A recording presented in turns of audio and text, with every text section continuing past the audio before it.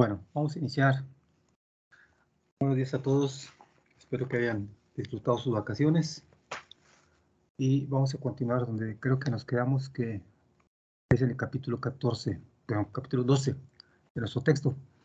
Eh, en este capítulo, pues es un capítulo, pequeño donde, como su título lo menciona, vamos a considerar eh, pues algunos aspectos importantes en el diseño de experimentos.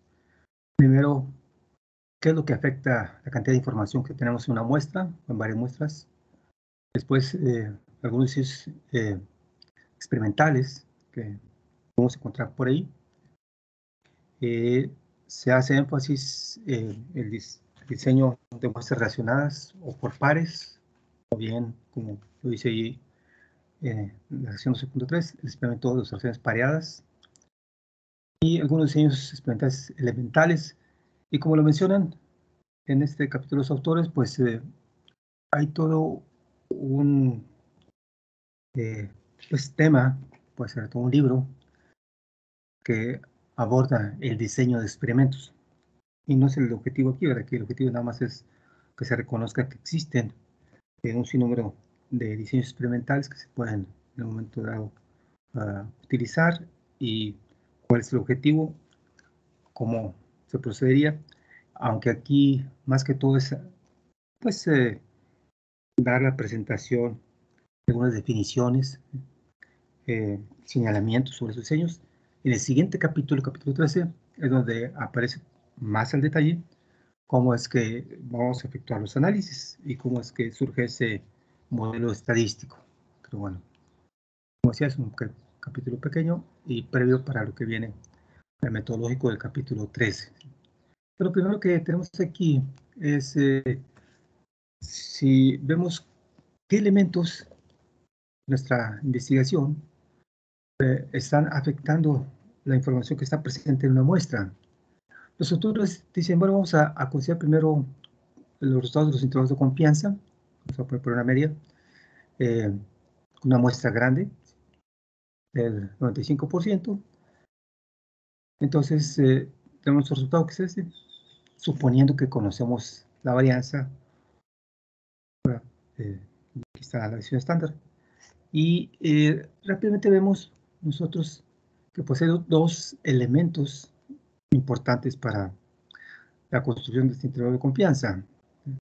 Y que la anchura de esos intervalos pues, van a a depender de la varianza poblacional y del tamaño de la muestra, n, n minúscula. Mientras más grande sea la varianza poblacional, pues más amplio será el intervalo, menos información tendremos. Mientras más grande sea el tamaño de la muestra, n, eh, más pequeño sería eh, el intervalo, su anchura, tener más información. Entonces, esa es la, situación que parece muy simple, muy elemental, pues sí, pero nos lleva a enfocarnos a dos aspectos importantes, la varianza poblacional y el tamaño de la muestra. Entonces, estos son los factores que están afectando qué tanta información tendremos nosotros en esa muestra con respecto al parámetro que nos interesa, en este caso es una media. Bueno, eso es lo primero. Eh, también eh, aquí habla sobre si el propósito de modelos de regresión es simple. Bueno, puede ser que queramos ajustar una recta a nuestro conjunto de datos y que nuestro deseo es maximizar la información de nuestros datos. Supongamos que podemos elegir los valores de la variable independiente x. ¿Cómo los eh? ¿Cómo los fijamos? En qué región de toda nuestra región de exploración, en qué lugares. Bueno, también, básicamente va a ser aquellos valores que minimicen la varianza de mi estimador de la pendiente de la recta, el beta 1 burrito. Beta 1 burrito es el estimador mínimo cuadrático de la pendiente de nuestra recta. Ok. Y aquí, como, como decíamos, realmente ese experimento es un tema muy amplio, que se refiere a métodos demostrados para reducir la variación en experimento y por lo tanto para adquirir una cantidad especificada de información a costo mínimo. Eso también haciendo referencia a que siempre está costo simulcado ahí, ¿verdad? Por un lado está cantidad de información que obtendremos en, en nuestro estudio y qué tanto nos va a costar. Siempre el investigador tiene que hacer un balance entre esos dos aspectos. Uh, ok. Aquí hace referencia a observaciones por pares, pero. Bueno, antes de eso, decían experimentos para aumentar la precisión. Entonces, en este caso, pues, eh, a mencionamos, no es eh, el objetivo dar todos los detalles y que sea un análisis completo de, de experimentos, pero sí una pequeña introducción y que va quedando claro cómo es que se, procede. El primero sería eh, el problema de calcular la diferencia entre un par de, medias poblacionales, que están en 1, menos 2, que puede ser la media de los hombres, la media de las mujeres, la media de urbano, la media rural, precisamente, pero eh, basándonos en muestras aleatorias independientes. Tenemos dos situaciones, uno de muestras independientes y otro de muestras racionales. Bueno, primero con muestras independientes. Eh, y vamos a considerar que el, el, experimentador, el investigador, tiene una cantidad de recursos tales que puede usar n minúsculas observaciones. La pregunta es, ¿cuántas observaciones debe seleccionar para las posiciones 1 y 2? Ya sabemos las restricciones que n1 más n2 es igual a n. Pero la pregunta es, pues de este n, ¿qué fracción debe de ir la muestra 1 y qué fracción la muestra 2? Eh, y ¿cuál es el objetivo? Pues maximizar la información, los datos sobre este parámetro, que es la diferencia de medias. Por ejemplo, si el tamaño de la muestra ya está fijo es 10, el total. El punto que nos hacemos, debemos seleccionar 5 observaciones para la muestra 1 y 5 para observaciones de la muestra 2, o tal vez sería mejor 4 para la muestra 1 y 6 para la muestra 2. Entonces, ¿de qué va a depender? Ya dijimos que tanta precisión vamos a lograr. Bueno, entonces, si las muestras se sacan independientemente, calculamos la diferencia de medias poblacionales con la diferencia de medias muestrales. Ya sabemos esto. Y también sabemos cuál es el error estándar. De hecho, cuál es la varianza la diferencia de muestrales, los raíces cuadradas positivas, ya su error estándar, que es este, sigma y media 1 más y 2, pues la raíz cuadrada sigma 1 cuadrada entre 1 más sigma 2 cuadrada entre 2. Ese sería el error estándar. Dice, bueno, cuanto menor sea este error estándar, menor será el correspondiente error de cálculo, y mayor será la cantidad de información. Queremos minimizar este error estándar, o su cuadrado, su varianza. Y eso nos va a dar más información, cuanto más pequeño sea esta cantidad. ¿Por qué? Porque nos hay intervalos de confianza más estrechos. Entonces, un caso particular es cuando decimos, bueno, pues eh, es razonable suponer que estamos trabajando bajo homogeneidad de varianzas. En este caso son dos muestras, dos poblaciones, eh, dos muestras, dos poblaciones, y en las poblaciones sus varianzas son iguales. Sigma cuadrado igual a sigma cuadrado igual a sigma cuadrado. Entonces, esta formulita, error estándar, pues, se transforma simplemente sigma raíz 1 entre 1 más 1 entre 2. Eso sería. Bueno, eh, aquí lo dice y más adelante aparece, pero vamos a, tomarlo como cierto, que si lo es, dice, se puede verificar que esta cantidad es mínima, se minimiza esta cantidad, cuando n1 es igual a n2, y en consecuencia que la muestra contiene un máximo de información acerca del parámetro que es la diferencia de medias, cuando las n unidades experimentales se dividen por igual entre los dos tratamientos, dos poblaciones. Un caso más claro se considera el ejemplo 12.1, pero ojo, ya vimos, primero que nada, nomás para aclarar esto, de alguna manera, pues estamos en un parámetro, en este caso la diferencia de medias. Ya tenemos un tamaño de muestra, n, significa que la suma de ambas muestras nos da n. Tenemos nosotros eh, interés en minimizar una cantidad, que en este caso es el error estándar, es bajo el supuesto de que las varianzas son iguales y esa cantidad. Y al minimizarlo, pues resulta que n1 tiene que ser igual a n2. Para que esto sea, pues quiere decir que n1 igual a n2 es un medio de n minúscula. Bueno, aquí se va a aclarar esto con este ejemplito que ve aquí. Es interesante verlo, pero va a ser, más general todavía. Dice, ejemplo 12.1, si han de usarse n minúsculas soluciones para calcular número menos menos, realmente para estimar, con base en muestras aleatorias independientes, ojo, todo esto es importante, con base en muestras aleatorias independientes. Las dos poblaciones de interés, encuentre n minúscula 1 y n minúscula 2, para que la varianza de diferencias muestrales sea minimizada. Y suponga, pues, como lo estoy haciendo, que la suma de n1 y n2 es igual a n minúscula, tamaño de la muestra. Lo primero que hacemos, como decíamos, es ponemos a considerar que b es la fracción de las n observaciones asignadas a la muestra de la población 1. Es decir, n1 es igual a b por n. Y n2, obviamente, pues sería 1 menos b por n ya que tenemos la restricción de que n1 más n2 es igual a n, todos minúsculas. Entonces, si sustituimos este hecho, que n1 es igual a bn, y de n2 es igual a 1bn, aquí sería cuando las son iguales, aquí sería en general, las opciones que es lo que se va a hacer aquí. Vamos a acá está los rows estándar y aquí está la varianza, pero es este, ¿verdad? Entonces, simplemente en lugar de poner aquí n1, ponemos bn, en lugar de poner aquí n2, ponemos bn. Y ahora sí vemos esta varianza, la diferencia de medidas muestrales cuando tenemos muestras independientes, pues eh, depende de b. Entonces vamos a minimizar esa cantidad. ¿Qué hacemos? Pues derivamos con respecto a b, igualamos a 0 y despejamos. Damos cálculo. Entonces, pues rápidamente veríamos que la derivada pues aquí el denominador sería una constante sigma 1 cuadrado entre n, y luego como es b a la menos 1, sería el exponente por la función al exponente menos 1, b a la menos 2. Y algo similar acá, ¿verdad? Entonces, sigma cuadrado entre n, y luego sería el exponente, que sería menos 1, por la función 1 más b a la menos 1, menos 1 menos 2, por la derivada de la función, que sería menos 1, menos 1 por menos 1, me da más 1.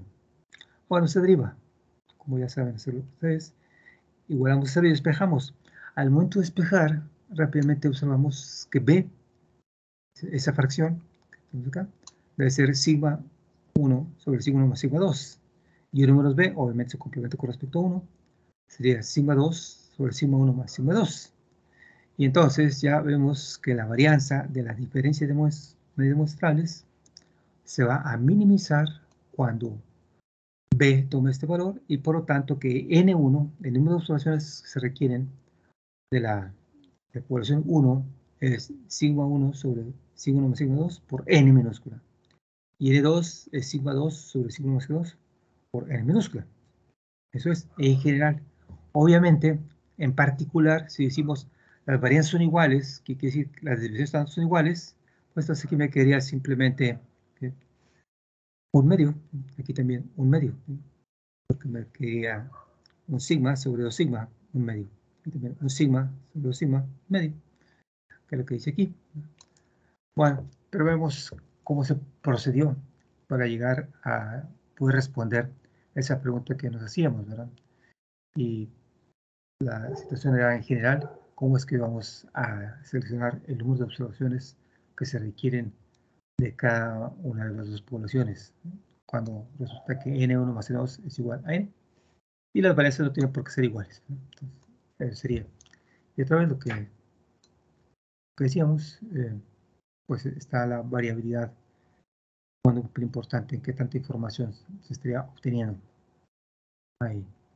Y eh, si hacemos la elección de la fracción de observaciones que se requiere el total, los que provengan de la posición 1 y los que provengan de la posición 2, estaríamos minimizando esta varianza o su raíz cuadrada positiva, su estándar.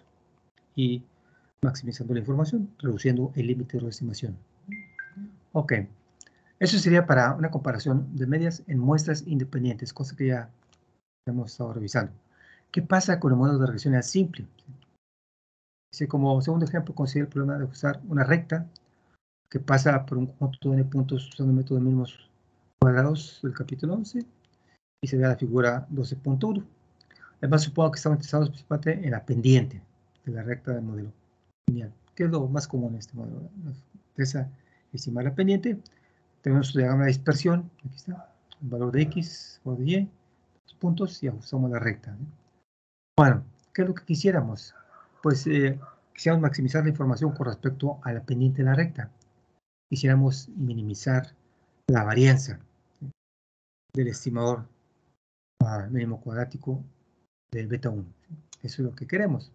Y eh, pues si recordamos, sigma cuadrada de beta 1 será sigma cuadrado sobre sxx, o bien eh, la dirección estándar de beta 1 gorito, pues lo recordamos, es sigma sobre raíz de sxx, ya sabemos lo que es s xx, la sumatoria de x menos que medio al cuadrado. Esto es lo que queremos nosotros minimizar. Bueno, pues eh, para minimizar esa cantidad, bastaría, para minimizar, para minimizar esta cantidad, bastaría, uh, queremos minimizar esto, esta cantidad, vamos a maximizar el denominador, esta cantidad. Recuerden que sigma cuadrada, sigma es una constante, es un parámetro, pero es fijo, nada más depende de las xy, o sea, los valores que estamos todos aquí considerando. Y aquí se supone, vamos a suponer, en muchas ocasiones es factible, en otras no, pero depende del estudio, pero vamos a suponer que el investigador puede seleccionar los valores de X. En estudios observacionales, pues no lo puede hacer, eh, como cuando analizamos, eh, algo, en los trabajadores, su escolaridad y su ingreso. Siempre se toma una muestra y se analiza la escolaridad y el ingreso de los trabajadores. Pero en otros estudios donde vemos el rendimiento en grano de un cultivo y la cantidad de valor X que sea la cantidad de nitrógeno aplicado al suelo, pues sí, el investigador puede fijar qué niveles de nitrógeno aplicar al suelo en cierta región de exploración. Bueno, el punto fundamental es que queremos nosotros aquí uh, minimizar esta cantidad, que es equivalente a maximizar SXX, y para maximizarlo, como lo dicen aquí, pues ya sabemos eh, cuál es el que limita el rango de exploración. Por ejemplo, aquí habla de del intervalo 2.6, que es donde quiere efectuar su estudio. El rango de exploración para X entre 2 y 6. Y ya decidió que toda la solución va a ser 10 puntos. Pues como dice que se puede mostrar, el valor más pequeño para sigma cuadrado beta 1 bonito se presenta cuando los n puntos están igualmente divididos con la mitad ubicada en la frontera inferior de los x, o sea, que vemos x1, 2, y la otra mitad en x2, en 6. No da la justificación en este momento para dar la afirmación, que es cierto. Sin embargo, aunque ese sea lo, lo óptimo, eh, tiene una pequeña restricción en el sentido de que está suponiendo que realmente este es el comportamiento del fenómeno, que es una recta que se ajusta ahí, nada más. Ese es, que es el modelo correcto. Y no nos da opción para analizar si es que pues no es una recta, es una curva. Puede ser un comportamiento cuadrático o de otro tipo.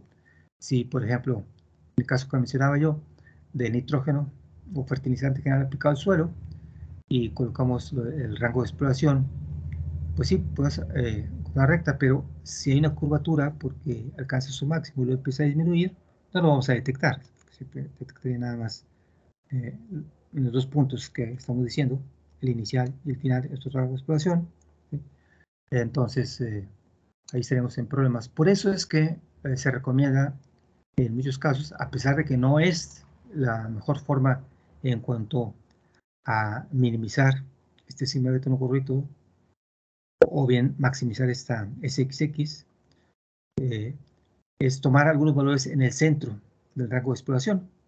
En este caso, si es el rango de exploración, entonces 6, pues en el centro de los valores, tomar, sería un 4, un par de valores, 2, 3, 4, para analizar la curvatura, si es que existe una curvatura una relación no lineal. Eso y es lo que dice aquí.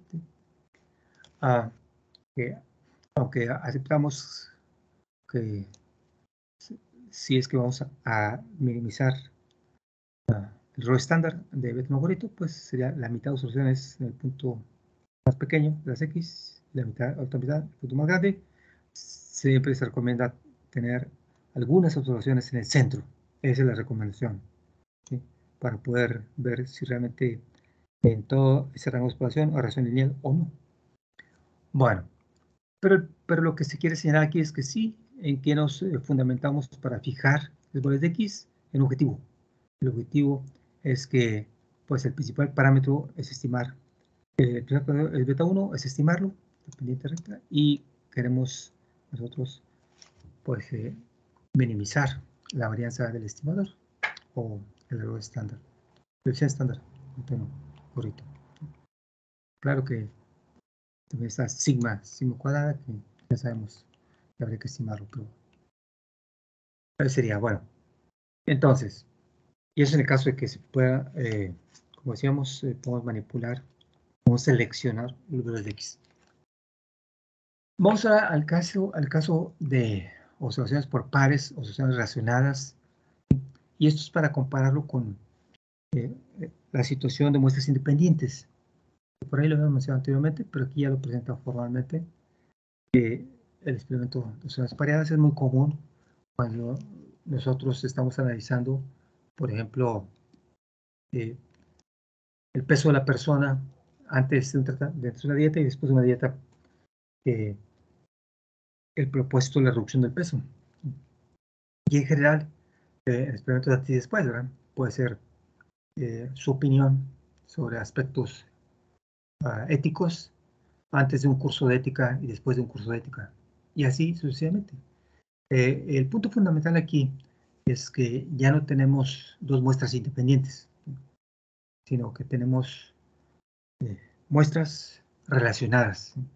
Como les dice ahí, el experimento de zonas pareadas. Tenemos interés en mismo parámetro, la diferencia de medias poblacionales, mu sub 1 menos mu sub 2. Eh, también el estimador puntual va a ser el mismo, y media 1 menos y media 2, pero, como decía, eh, es diferente porque tenemos observaciones por pares y va a surgir y luego se va a generalizar más adelante este tipo de experimentos. Eh, yo lo que hice aquí hice una situación que ocurre comúnmente, es aquella donde se hacen observaciones repetidas en la misma unidad de muestreo, por ejemplo, tener el peso de una, una, persona antes y después de que participe en un programa de reducción de peso. En un eh, experimento médico podríamos parear individuos, formar pares, que sean del mismo género y que tengan pesos y edades similares. Uh, un individuo de cada par selecciona al azar para que reciba uno de los dos medicamentos compatibles para controlar la hipertensión, mientras que otro individuo del mismo par recibe otro medicamento. Y es lo que se hace, cuando no se pueden eh, formar los pares en un individuo, eh, se forman pares cuyos individuos que lo forman sean muy similares en base a un conjunto de características que fija el investigador. Por lo general, pues es sexo, la edad, eh, y algunas características que el investigador dice deben de ser similares. Salud, en general, el investigador es el que dice, pero forman pares de individuos similares y luego uno de ellos se selecciona al azar y se le aplica un tratamiento, en este caso está hablando de un medicamento para controlar la hipertensión y el otro pues el otro medicamento y así tienen un experimento como lo mencioné aquí, de observaciones pareadas por pares o muestras relacionadas. Contrasta con muestras independientes. Dice, la comparación de dos poblaciones con base en datos pareados puede ser un diseño experimental muy eficaz que puede encontrar fuentes extrañas de variabilidad y resultar en la disminución del error estándar del estimador de 1 menos de 2 para diferencia de las medias poblacionales, el mismo parámetro como decíamos, 1 menos 2. Y luego viene la, eh, el análisis, miren, tenemos Y1 y Y eh, para el décimo par. Y el subíndice I toma valores 1, 2, 3 y hasta n. Son n pares. n pares. Si, si es el mismo sujeto que se, que se estudió su peso antes de la dieta y después de la dieta, pues tendríamos eh, n sujetos. n se llaman unidades experimentales y cada uno se observa antes de la dieta y después de la dieta. Y si no, pues los pares eh, que se formaron por sujetos similares, con un medicamento y otro medicamento. Tratamientos que se llaman en general. Ok. Dice, con Y1 y Y2 sí, para irnos a denota una muestra aleatoria de observaciones pareadas, por pares o relacionadas. Vamos a suponer que la esperanza de Y1 y es mu 1. que sería, en el caso de los pesos, el peso por medio, antes de la dieta. La varianza de y pues es sigma 1 cuadrado. La varianza antes de la dieta, la esperanza de 2 y el 2, el peso por medio después de la dieta, la varianza de 2 y sigma 2 cuadrado, la varianza del peso después de dieta, y la covarianza entre Y1 y Y2, Rho sigma 1 sigma 2. Esa es la covarianza. En este caso, esa covarianza no es cero, porque la correlación no va a ser cero. Este, esta correlación, eh, otro parámetro, y en general, en general eh, puede tomar valores entre menos 1 y más 1. Claro, con esos parámetros de cero, pero en este caso no se espera que sea cero, ¿verdad? Porque todos son individuos y están relacionados, totalmente relacionados, no, no se espera que fuese cero correlación. Bueno. Y por ahí ya se había trabajado esto. aquí nos dicen, vea la sección 5.7. Vamos a definir de ahí que sea la diferencia entre Y1 y Y2i. O sea, para, para cada par tomamos la diferencia Y1i y Y2i. Con ellos están, entonces tenemos n diferencias.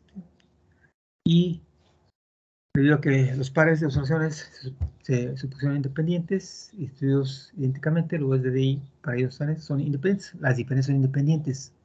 Eso sí, están todos idénticamente y si recordamos el teorema 5.12, básicamente los estados de las esperanzas de varianzas, pues llegaríamos que la media de las diferencias, que sería la esperanza de DI, y la esperanza de DI y la esperanza de Y1i menos Y2i, la esperanza de diferencia, la diferencia de las esperanzas, y la esperanza de 1i es μ1, la esperanza de 2i es μ2. Entonces, μ de es μ1 menos μ2.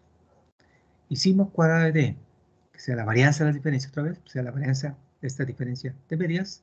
También lo puedo hacer por la definición o recordando nuestro teorema 5.12, pues la suma de varianzas menos dos veces la covarianza entre ellos. Y lo sustituyendo en general lo que es la varianza de y1i, sigma cuadrada, la varianza de, la varianza de y2i, sigma cuadrada, y la covarianza de y1 y y2i, que es rho sigma 1 sigma 2, pues tenemos el resultado, que es la varianza de las diferencias. Bueno, entonces, si decimos que t media es la media 1, muestra la media, es el 2, en este ejemplo que estaba diciendo, el peso promedio de los n individuos antes y el peso promedio de los n individuos después. Y yo quiero encontrar la esperanza de media otra vez, que llamé mu de d, pues otra vez sería mu1 menos mu2. Entonces vemos que d media es un testimonio sesgado para nuestro parámetro, mu1 menos mu2 o mu de d. Eso es. Y la varianza de d media, ojo, de d media, pues sería la varianza de la variable general que hicimos con d entre el número de observaciones, que el número de pares, y simplemente sustituimos lo que dice. Dice ahora, y vamos a compararlo con eh, muestras independientes, todo esto es para muestras relacionadas. Si la información se había obtenido de un experimento muestras independientes, y N1 es igual a N2, lo que obtendríamos sería esto, que la esperanza de M1 menos M2, pues sí, también sería M1 menos M2, pero, como acá, pero la varianza de la diferencia de medias sería 1 entre signo cuadrado más signo 2 cuadrado. Entonces, no son iguales en las varianzas. Ahora, si es razonable creer que en los valores de Y1 y Y2 para ellos también, valores de Y1 y Y2 tendrán, tenderán a aumentar o disminuir juntos, o sea que su correlación es positiva, hay una relación directa. Entonces, una de las expresiones anteriores para la varianza de, de media, el experimento por pares acoplados o pares relacionados y sigma con y medio 1 más y 2, el experimento de muestras independientes demuestra que el experimento de soluciones pareadas proporciona un estimador con menor varianza que el experimento de muestras independientes. Y por supuesto, ahora simplemente el análisis de estos resultados lo vemos. Si ρ es positivo, como está viendo aquí, pues hay que restar esta cantidad a sigma cuadrado mientras que aquí ya no aparece. Entonces esta varianza va a ser más pequeña que esta en el caso de que ρ sea positivo, que existe una una fuerte correlación eh, positiva entre Y1 y 2, que en muchos casos es cierto, es el mismo individuo, en caso de que el propio individuo sea el que se toma antes y después. Individuos eh, muy pesados van a terminar relativamente pesados después de dieta.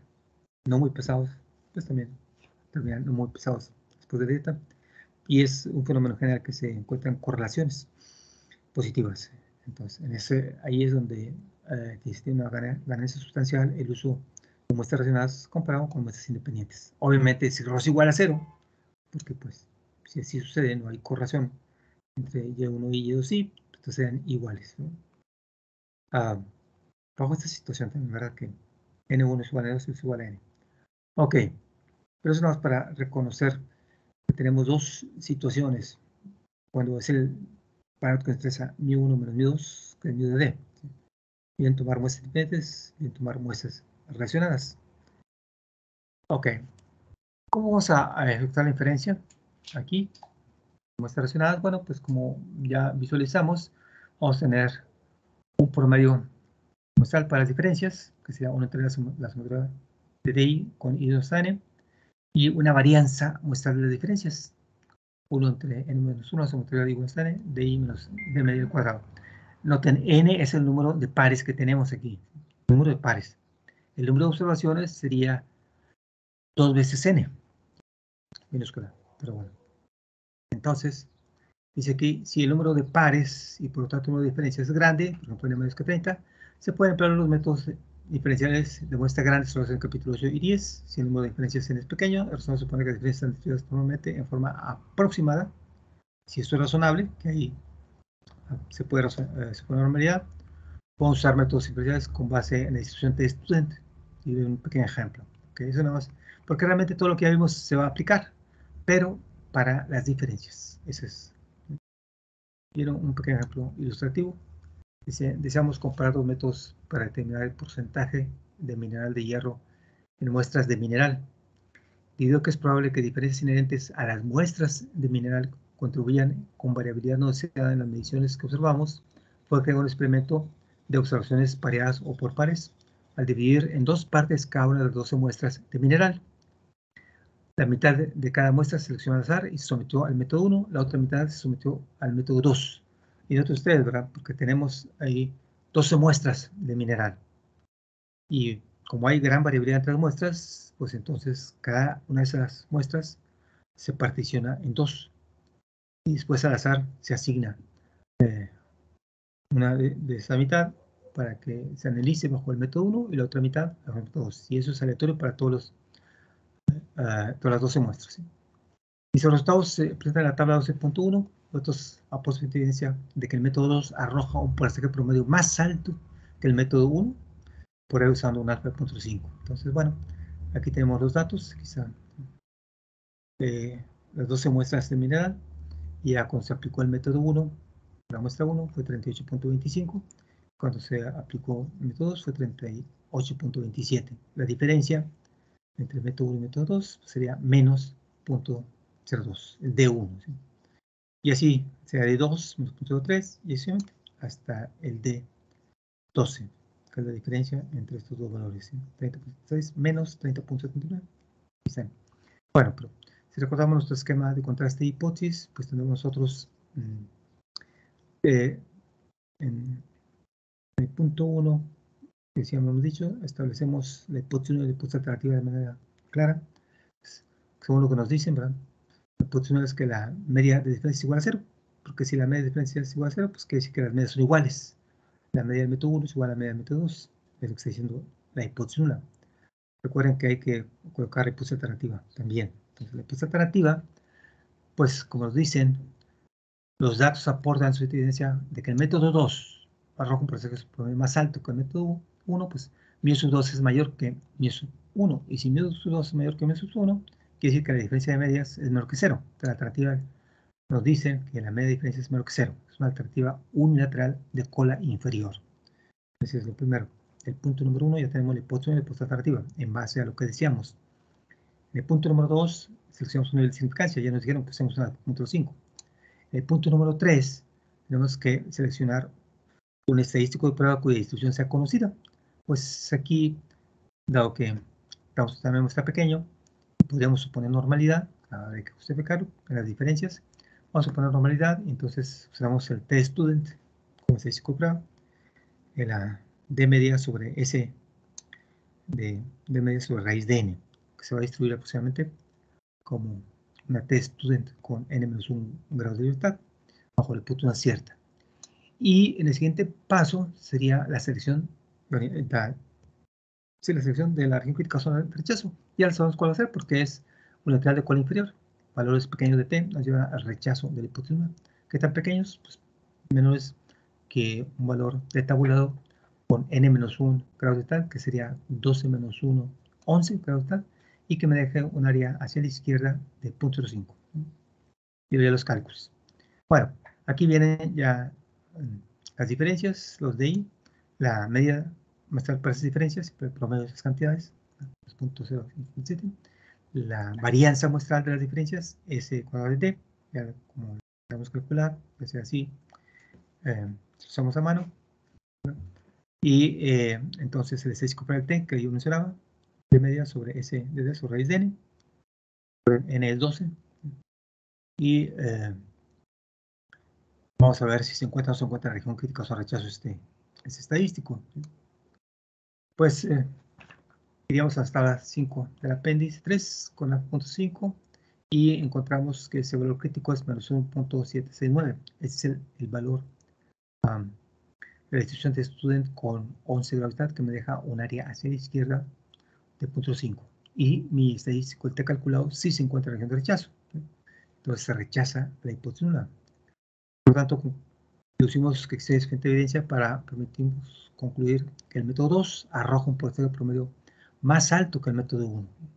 Si queremos el valor de p-value, la significancia cansada, pues podemos utilizar eh, el Excel o un paquete computacional para encontrar esa prueba, la prueba de que eh, el estadístico prueba el T sea el observado 1 más extremo, el observado fue menos 2.65, más extremo a la izquierda, y esa área exactamente sería 0.0256, mucho menor que el alfa de 0.5.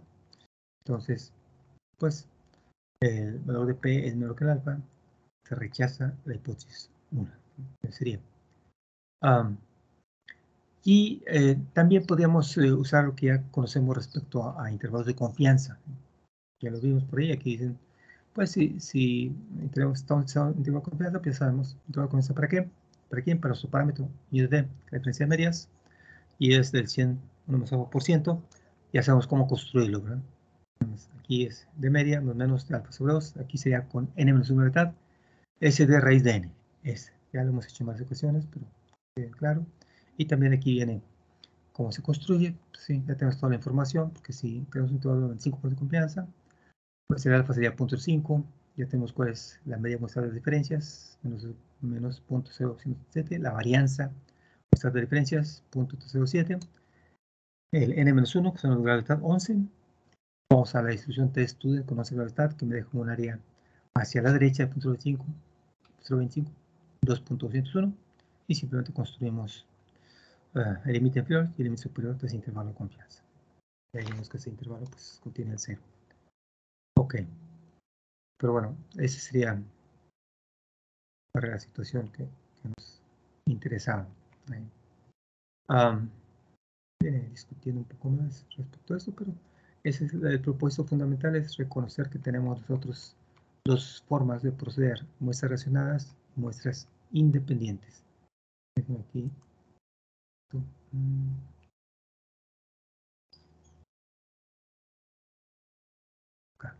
Miren, tal vez aquí nada más para ilustrar un poco, voy a, iniciar una sesión del SPSS.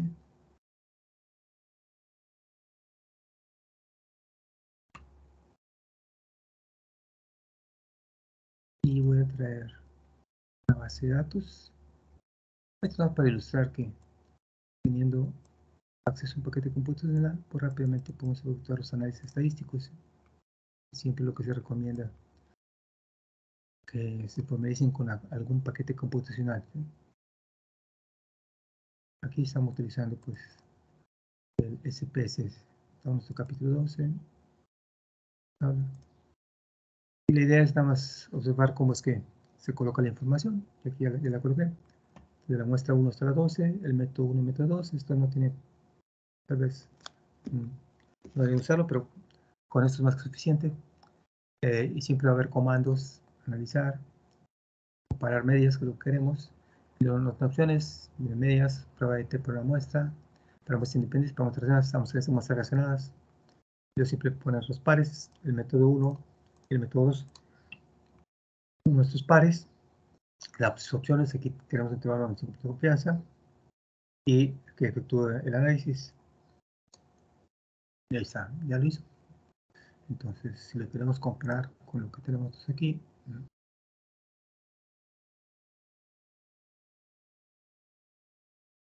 perdón.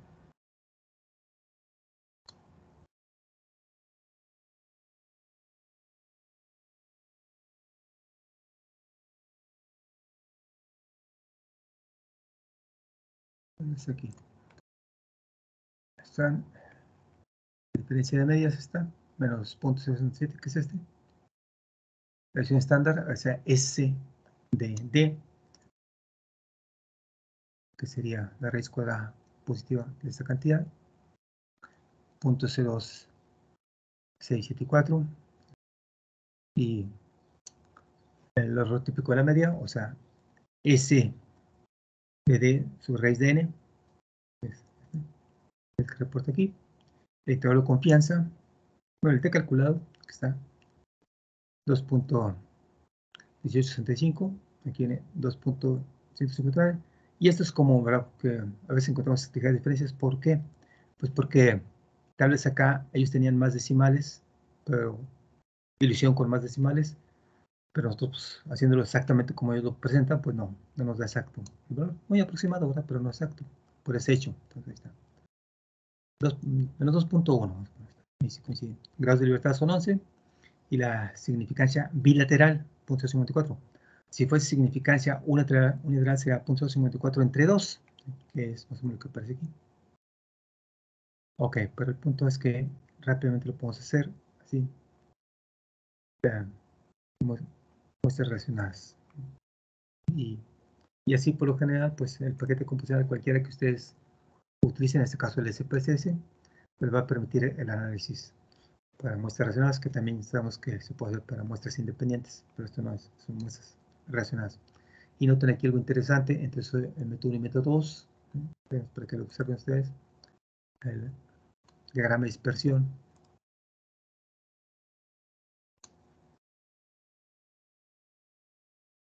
Está, ¿verdad? Una fuerte relación entre los valores para método 1 y método 2, una fuerte correlación. El RO, se espera que el RO sea bastante cercano a 1, mayor que 0.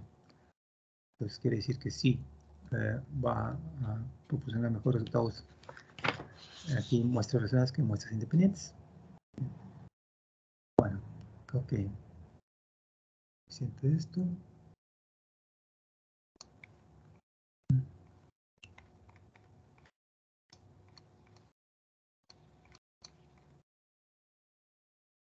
Miren, en esta sección donde dice algunos diseños experimentales elementales va eh, se van a prestar unas definiciones previas a lo que viene en el capítulo 13, que ya es el análisis de esos diseños elementales, que básicamente será el completamente al azar, eh, que es la extensión de muestras independientes, porque en, muestras independientes, cuando tenemos dos muestras independientes, porque tenemos interés en comparar eh, las medias, la diferencia de medias, mi1, mi2, mi1, mi2. la pregunta obligada es, ¿qué pasa si estamos interesados en comparar tres medias. Tenemos tres muestras independientes. Ah, bueno, pues surge un diseño experimental.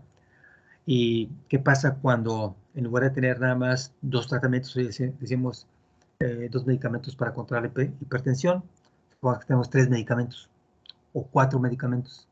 ¿Cómo hacemos? Y son muestras relacionadas. Ah, bueno, pues otro diseño experimental, bloques completos actualizados. Eh, y, utiliza para dar algunas definiciones. Entonces es interesante, aunque todavía no se va a hacer el análisis completo, pero sí ir aclarando en qué consiste esto, en deducciones experimentales y algunas definiciones. Ah. ok, entonces eh, ya sabemos que podemos usar muestras independientes muy relacionadas. Y dice aquí, suponga que deseamos comparar cinco técnicas de enseñanza. Entonces tenemos a, B, C, D y E. Son, cada una tiene que ser cinco técnicas de enseñanza.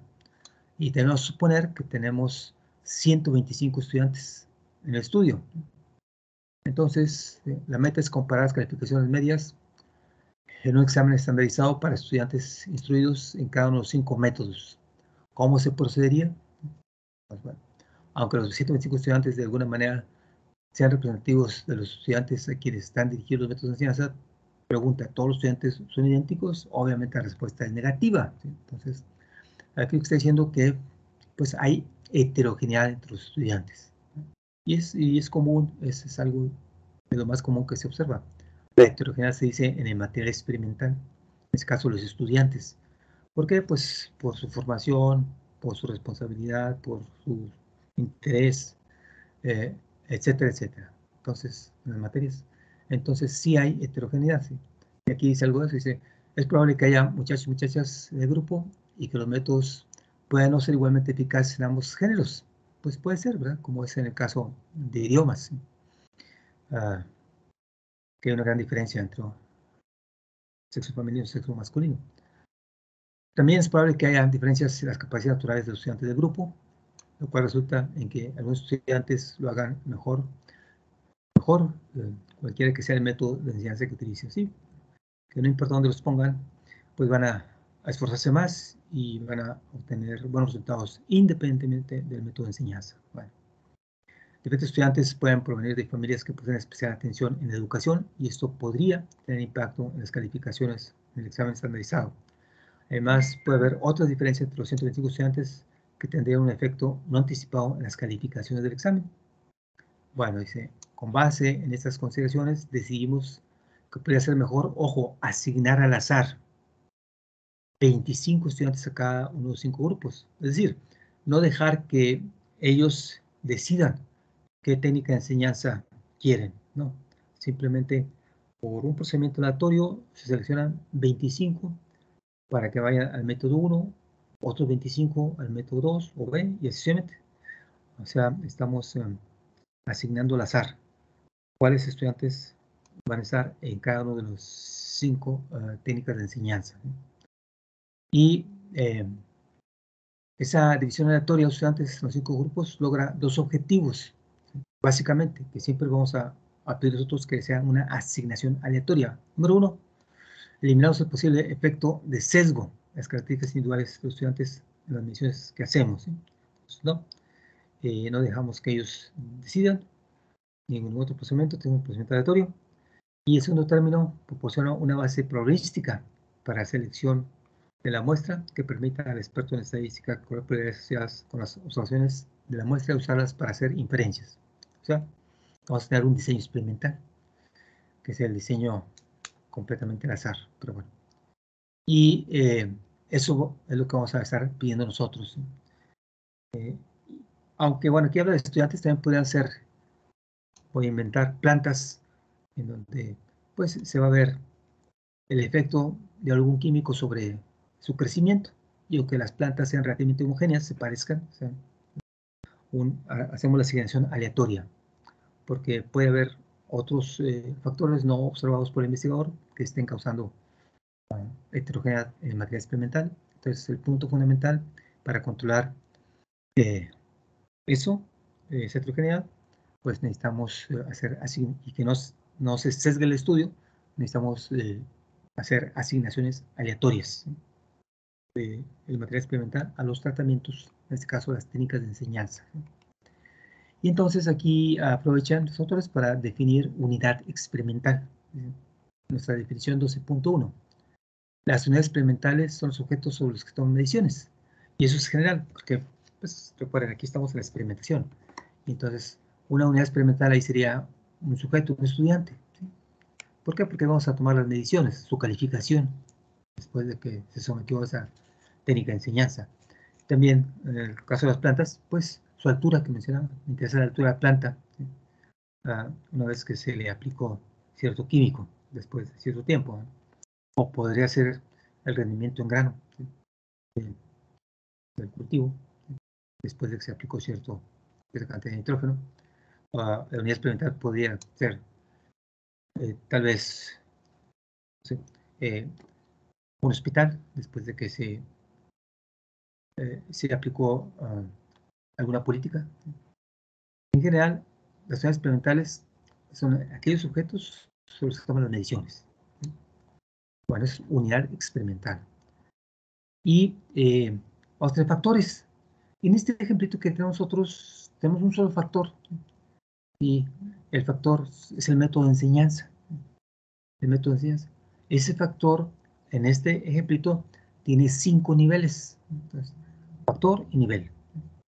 Ah, el factor también podría ser, voy a inventar, el factor puede ser sexo del estudiante, hombre y mujer, dos niveles. Ah, el factor puede ser nacionalidad del estudiante y puede ser que tengamos tres nacionalidades, norteamericana, canadiense y mexicana, por, por mencionar algo. Pero en general vamos a estar hablando de factores y niveles. En este caso son cinco niveles, A, B, C y D, son los niveles del factor método de enseñanza.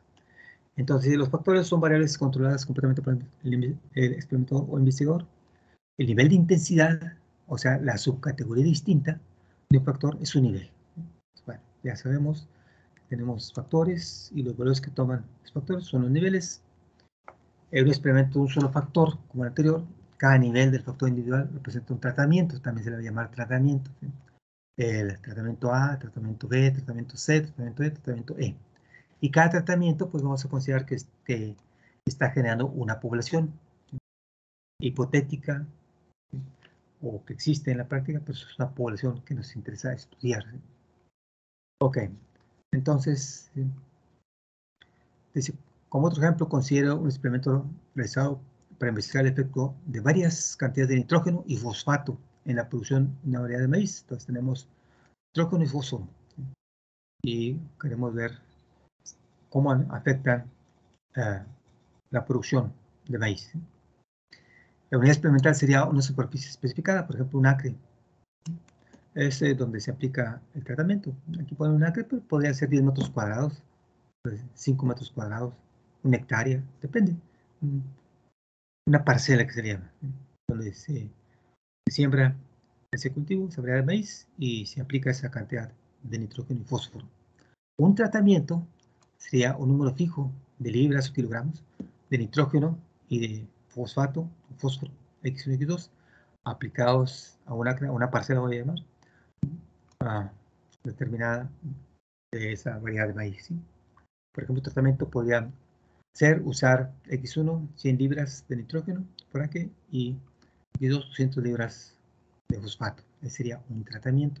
Pero entonces, ahora el tratamiento se forma por la combinación de dos niveles, de dos factores. Aquí tenemos dos factores, el factor nitrógeno y el factor fosfato o fósforo.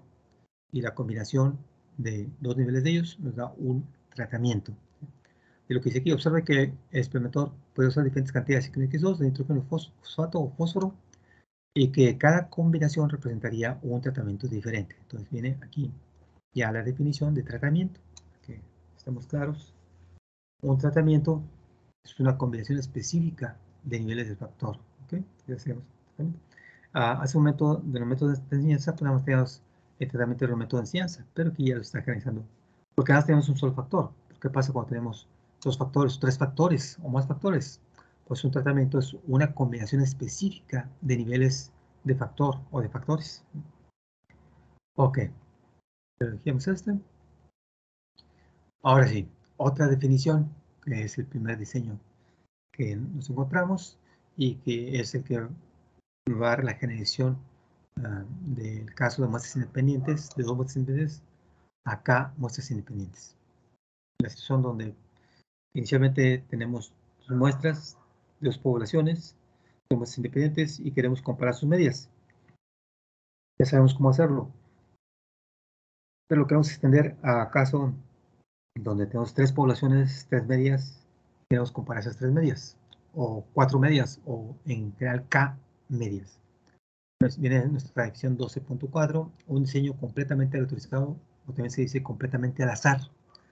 Diseño completamente autorizado, completamente al azar, para comparar, ojo, K tratamientos.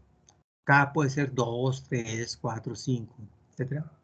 Es aquel en el que un grupo de N menos que unidades experimentales en el caso de, la técnica de enseñanza, los, los estudiantes, los estudiantes experimentales, en el caso de la, del nitrógeno y fósforo, N parcelas, relativamente homogéneas se dividen al azar en K grupos o subgrupos de tamaños N1, N2, N.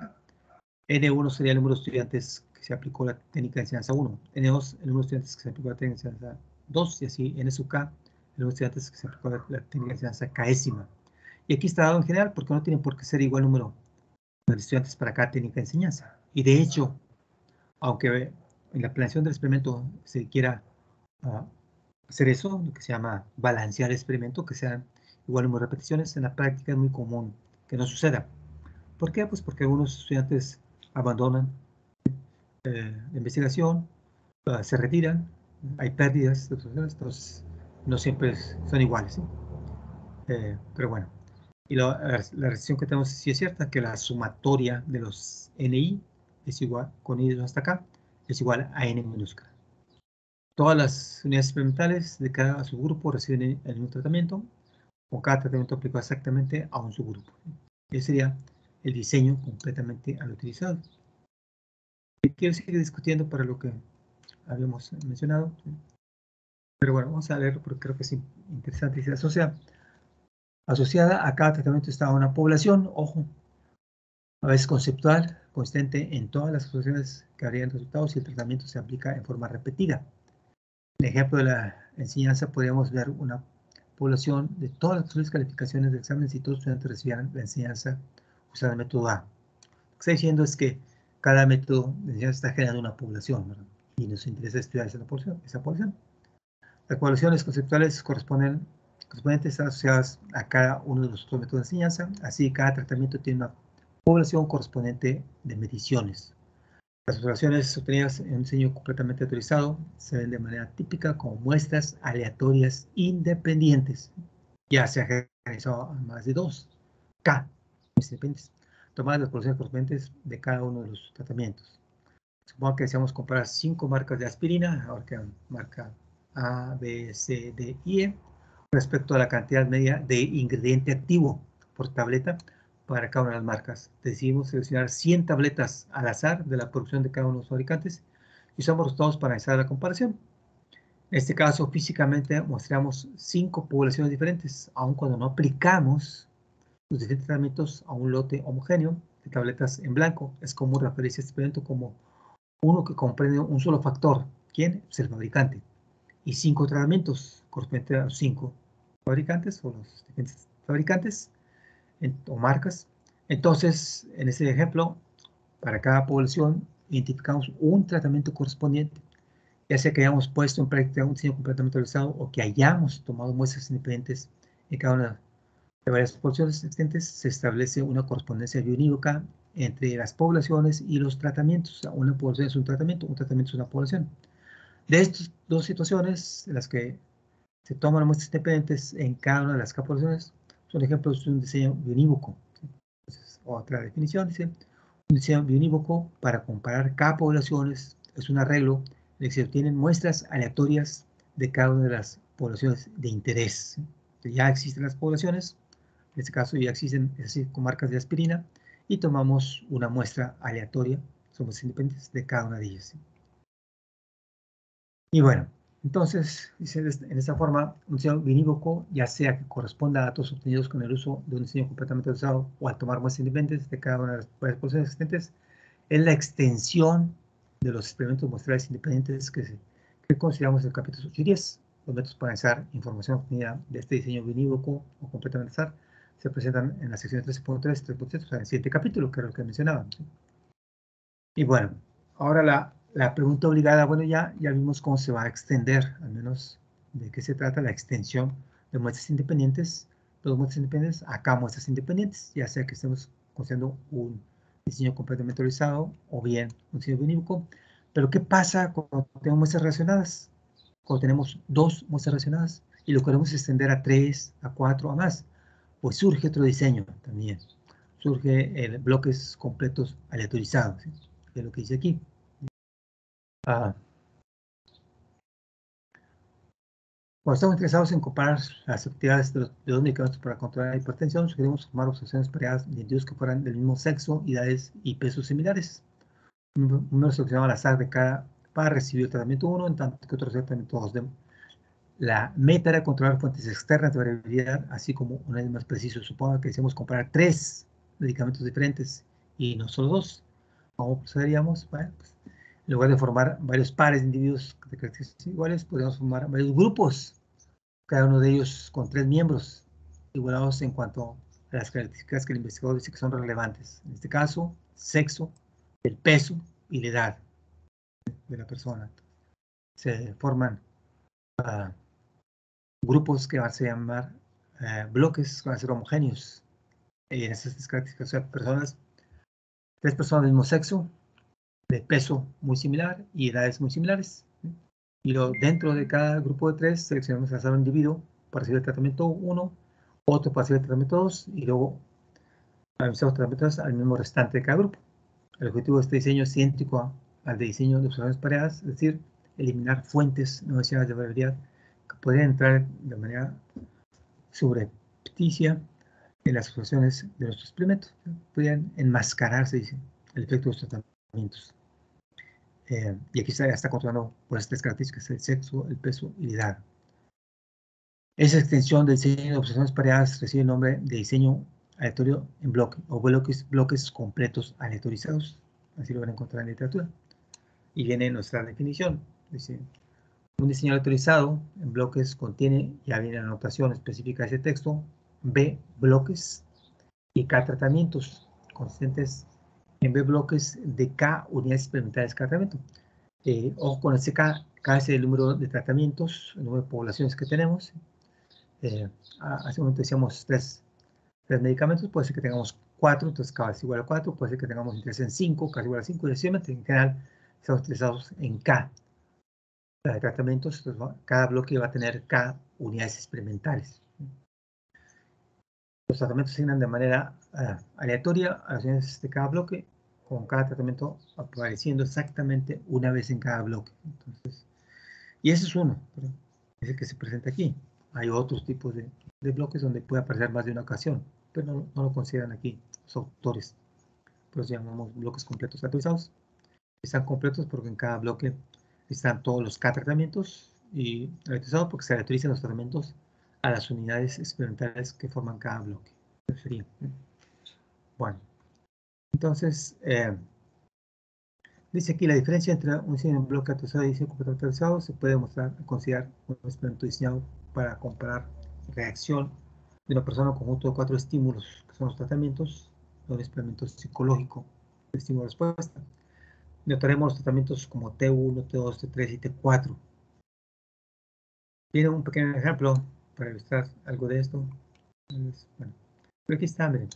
Eh, la idea es que eh, tenemos otros interés en estudiar cuatro tratamientos, pero vemos que tenemos ocho personas y una forma de controlar el efecto de la persona, toda la variabilidad que existe entre las personas, porque las personas pueden ser personas de diferente sexo, diferente edad, diferentes, eh, pues, eh, eh, situaciones socioeconómicas en general, heterogéneas personas, podemos bloquear por persona.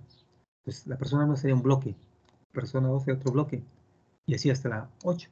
Y dentro de cada persona aleatorizamos cómo asignamos los tratamientos. Aquí está el orden. La persona primero tratamiento 1, después el 2, el 4 y el 3, y así sucesivamente. Es un ejemplo de bloques completos aleatorizados, donde tenemos cuántos bloques, 8, que es B número de bloques, que es el que llevamos aquí, B. ¿Y cuántos tratamientos? ¿Cuánto vale K? Vale 4. Y ese sería eh, un ejemplo de bloques completos aleatorizados, donde se está bloqueando en base a la persona. ¿Por qué? Porque hay una gran variabilidad entre las personas que van a participar en el estudio y no queremos que vaya a enmascarar los efectos de los tratamientos. Queremos controlar ese efecto de la persona. Bueno, sería y um, Ok.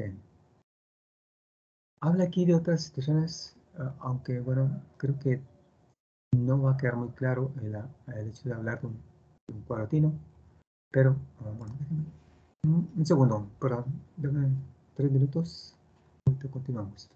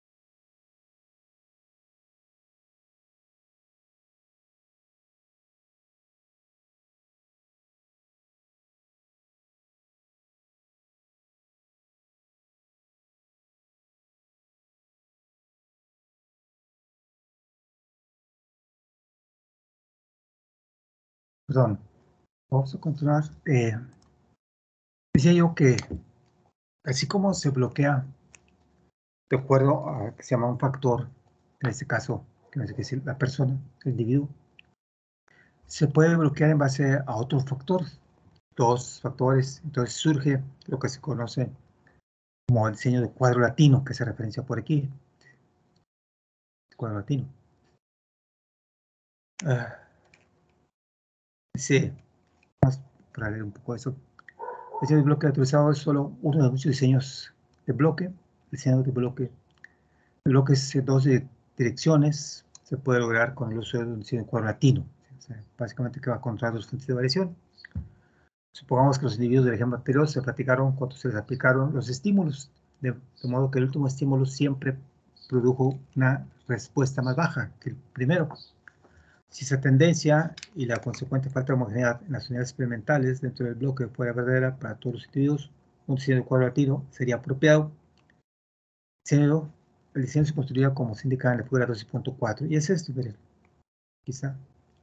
Ese es un diseño que se llama cuadro latino de 4x4. Tenemos cuatro hileras, tenemos cuatro columnas y tenemos cuatro tratamientos. Si ustedes observan, la primera hilera están todos los tratamientos, 1, 2, 3 y 4. En la segunda hilera están todos los tratamientos, 1, 2, 3, 4, en la tercera también y la 4. En la columna 1 están todos los tratamientos, 1, 2, 3, 4. En la columna 2 también, 3 y 4. Eh, cualquier hilera contiene todos los tratamientos, cualquier columna tiene todos los tratamientos y los tratamientos aparecen una y solo una vez en cada hilera y en cada columna. Pues eso es un cuadro latino que se conoce como cuadro latino. Eh, es un 4x4 y así se puede controlar tres fuentes de variabilidad, la que sea por hileras, la que sea por columnas y la que sea debido a tratamientos. Bueno, y así surgen un sinnúmero de de diseños experimentales. Aquí la idea es que se puede ir refinando el diseño experimental cada vez más. En general, uh, podemos tener cuadratinos de P-tratamientos, y sea P por P, no experimentales que se requerían para formar ese cuadratino. Aquí P vale 4, 4 por 4, 16. Ah, ok.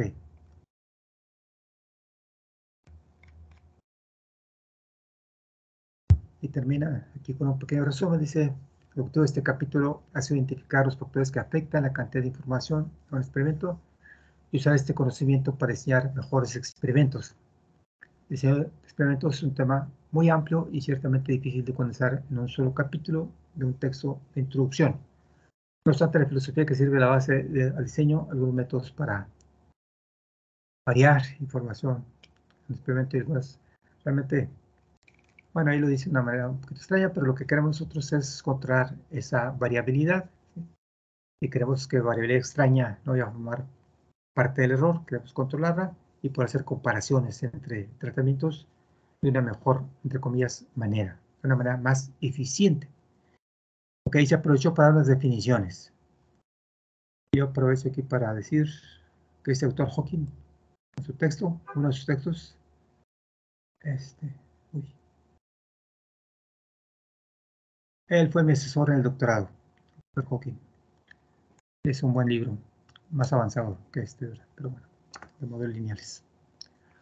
Bueno, el un número de, de textos de lecturas adicionales que tienen alcance, como ya les dije, pues es eh, todo un curso, sin experimentos, que puede ser un semestre un año. En la industria se utiliza mucho, y es muy común que en ingeniería se lleven cursos completos de diseño de experimentos.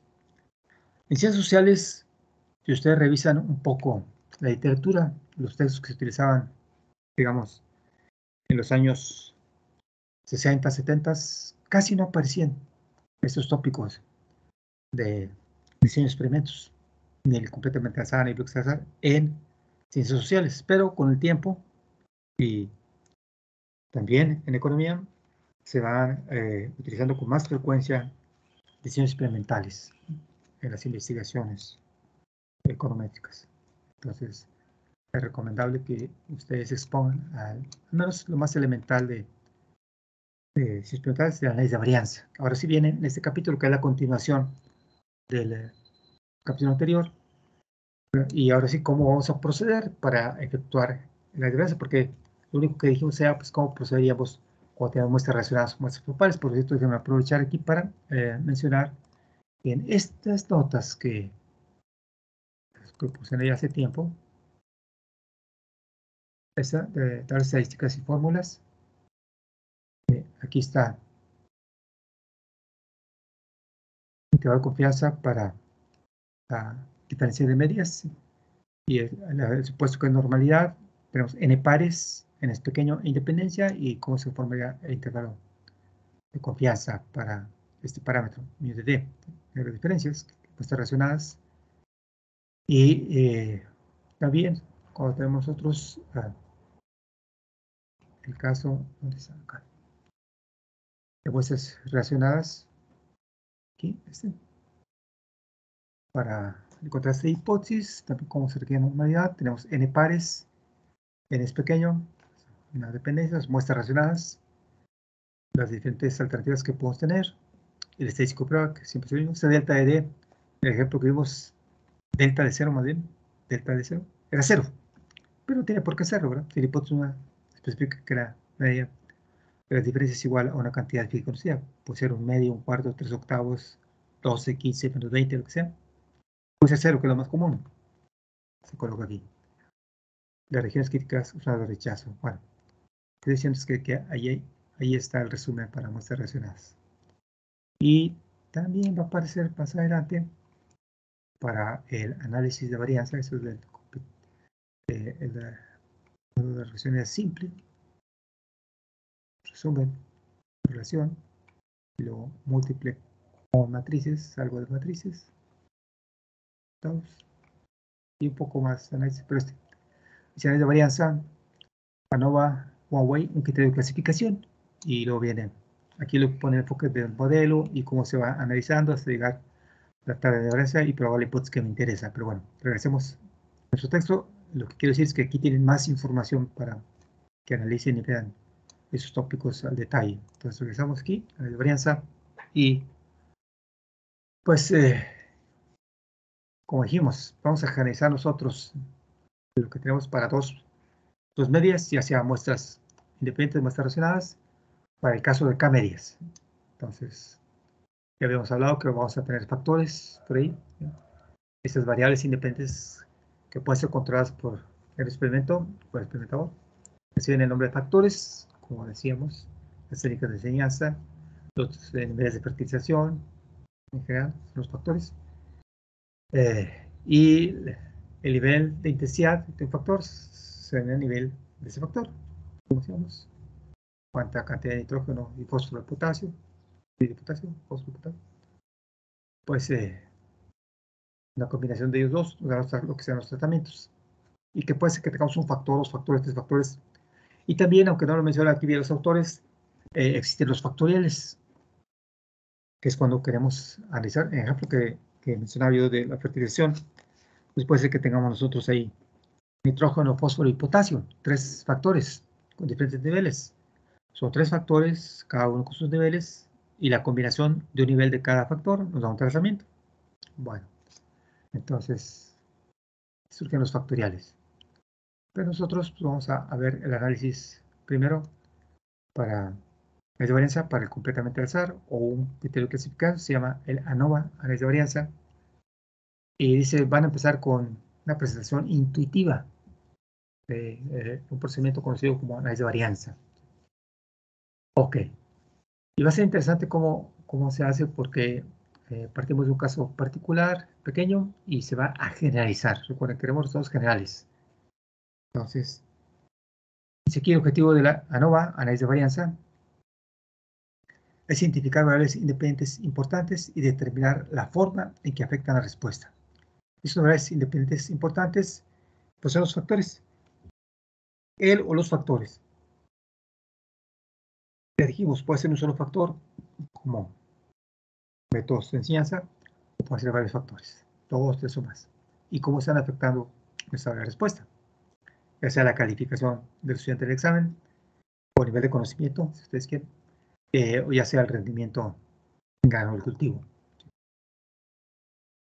Dice, vamos a ilustrarlo. Igual que en el capítulo 11, la variabilidad de un conjunto de n minúsculas mediciones es cuantificada por la suma de codos de las divisiones. Este es el numerador de la varianza. ¿sí? La sumatoria de igual a n, y menos y medio al cuadrado. Es el modo de varianza muestral. ¿sí? Y el procedimiento de ANOVA lo que va a hacer es dividir en partes esa suma de cuadrados de las desviaciones, que realmente ya tenemos un nombre para esa cantidad, la suma de cuadrados total corregido. Así le llamamos nosotros en regresión lineal, ya sea simple o múltiple. Esta cantidad es la suma de cuadrados del total corregido. Pues vamos a particionarlo. Eso es lo que se va a hacer. Y lo que se hace en todos los análisis de varianza. Se particiona. De tal manera que tengamos cuál es la contribución de cada una de las variables independientes del experimento a esta cantidad. Eso es lo que se va a hacer. Y aparte, pues vamos a, a tener un término que es el error, que también estará por ahí presente. Así como se hizo en módulo de regresión simple, módulo de regresión múltiple, se acá también análisis de varianza. Y de hecho, al final va a quedar claro que el análisis de varianza pues, es un caso particular del módulo de regresión lineal múltiple. Entonces, esa suma de cuadros corregida vamos a, particionar. Ya sabemos que la suma de cuadros del error se va a, utilizar el símbolo SSE, suma de cuadros del error, como traducción. Debería ser español. Y eh, si lo queremos ver esquemáticamente, pues tenemos la suma de cuadros total corregida, que es esta. Se particiona en una suma de cuadrados atribuir a la variable independiente 1, o sea, el factor 1, factor A, más una suma de cuadrados para la variable independiente 2, la suma de cuadrados del factor B, más una suma de cuadrados del factor 3, suma de cuadrados de la variable independiente número 3, y una suma de cuadrados del error. Esto es para cuando tenemos tres factores. Pero pueden ser 2, 3, 4 en general, así va a ser. Particionar esta suma de cuadrados de todo corregido en sus componentes al final tenemos una suma de cuadrados del error. Muy bien. Entonces, eh, lo que hacen aquí los autores es iniciar con el caso más elemental, que es cuando tenemos los tratamientos. Y un caso que puede causar confusión, cuidado. Eh, hay que eh, tomar en cuenta que el, el, desarrollo, aquí el quebraico que se va a hacer para este ANOVA, va a realizarse suponiendo que N1 es igual a N2, que el número de repeticiones que tenemos para el tratamiento 1 es igual al número de repeticiones que tenemos para el tratamiento 2. ¿okay? Eh, son dos muestras aleatorias independientes, tenemos µ 1 y µ 2, y aparte que tenemos varianzas iguales, sigma cuadrado, sigma cuadrado, sigma cuadrado, como crea varianzas. Y ya lo hemos analizado anteriormente usando bajo normalidad la prueba T estudio de parametros independientes, pero vamos a, verlo desde el punto de la partición de la suma de cuadros total corregida. Entonces, decimos, esa suma de cuadros total corregida la colocamos así. Esta que tenemos acá. Quedó. Ah. Esta sería para todas las n. O sea, y sin considerar el grupo del cual provienen. Pero ya si consideramos el grupo del cual provienen, sería así la notación. Y J nos lleva en general al cuadrado sumado desde que J está en NI y sumado desde que Y igual hasta 2, 2 porque son dos tratamientos. Bueno, y luego aquí uh, este NI se coloca en N1 porque como dijimos N1 es igual a N2. El número de repeticiones es el mismo, por eso que pues, se coloca aquí el Hubiese sido mejor que usaran R, no repeticiones, para no confundir, pero bueno, lo aceptamos, es la opción, tengan cuidado. Esa es la suma de costos de total corregido. ¿Y qué es lo que eh, tenemos ahí? Bueno, uh, y J denota la J observación en la décima muestra. Recuerden, tenemos dos muestras, una para cada población y tenemos eh, N1 observaciones o repeticiones para cada muestra. Y media, esta que está aquí, es la media de todas las observaciones. El total en este caso particular es 2N1. Sería N1 más N1, 2N1. Y esa cantidad puede irse en dos partes de la siguiente manera. Dice la que ahorita, esta suma cuadrados corregida, se puede hacer álgebra y aquí dice en la prueba está diferida la lección 13.6, ahorita la vemos, pero vamos a aceptar que es cierto. Esta suma de cuadrados corregidas se puede expresar como la suma de dos sumas de cuadrados, que es lo que nos interesa en este momento. La suma de dos sumas de cuadrados, esta se conoce como la suma de cuadrados de tratamientos, suma de cuadrados del factor, y esta como la suma de cuadrados del error. Tengan cuidado porque aquí otra vez estamos trabajando bajo el supuesto de que son dos tratamientos e igual número de repeticiones para cada tratamiento. Pero lo relevante aquí es que se descompone la suma de cuadrados de corregida en suma dos sumas de cuadrados. Una atribuible a tratamientos o el factor y otra atribuible al error. Ah, aquí tenemos que aparece y media i, y medir es el promedio de las sustancias de la yésima muestra y vale 1, 2. Recuerden, tenemos dos muestras, cada muestra nos proporciona una medida diferente, muestral, y media 1 y media 2. Y esta media es la media general de todas las n observaciones. Ok, entonces, noten ustedes que eh, esta suma de cuadrados del error, que sería esta suma de cuadrados del error, pues yo puedo multiplicar y dividir por el número de repeticiones menos 1 n1 menos 1 sobre n1 menos 1. Esta s i cuadrado es esta. 1 sobre n menos 1, las puntas y y j menos y media i al cuadrado. Y es la varianza muestral que proviene de la muestra que se extrajo de la población 1. Cuando i vale 1. Cuando es 2, s 2 cuadrado, la varianza muestral de la muestra que extrajo de la población 2. Ambas muestras son de igual tamaño, por eso en ambas muestras aparece n1. Pero el punto que queremos aclarar este es, que esta suma de cuadrados del error, que es esta, se puede expresar como la sumatoria de i a 2, n1 menos 1 es i cuadrado, y que nos recuerda algo de la varianza ponderada. Esa cantidad, si la dividimos entre n1 más n2 menos 2, pues sería nuestra varianza muestral ponderada. Entonces, ¿a dónde hemos llegado? Que la suma de cuadrados del error y en este caso particular, porque n1 es igual a n2 y es igual a n1, pues sería que 2 n1 menos 2, de lo que está en el denominador, es la varianza ponderada. Ahorita vamos a ver que esto es otra cosa más que el cuadrado medio del error.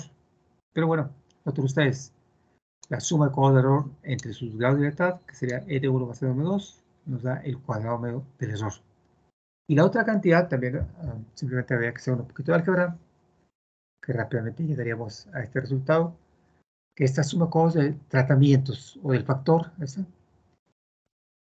puedo hacer eh, el álgebra y llegar a que es igual a n1 entre 2, la diferencia de media muestras al cuadrado, que se le llama suma de cuadrados de tratamientos, suma de cuadrados del factor.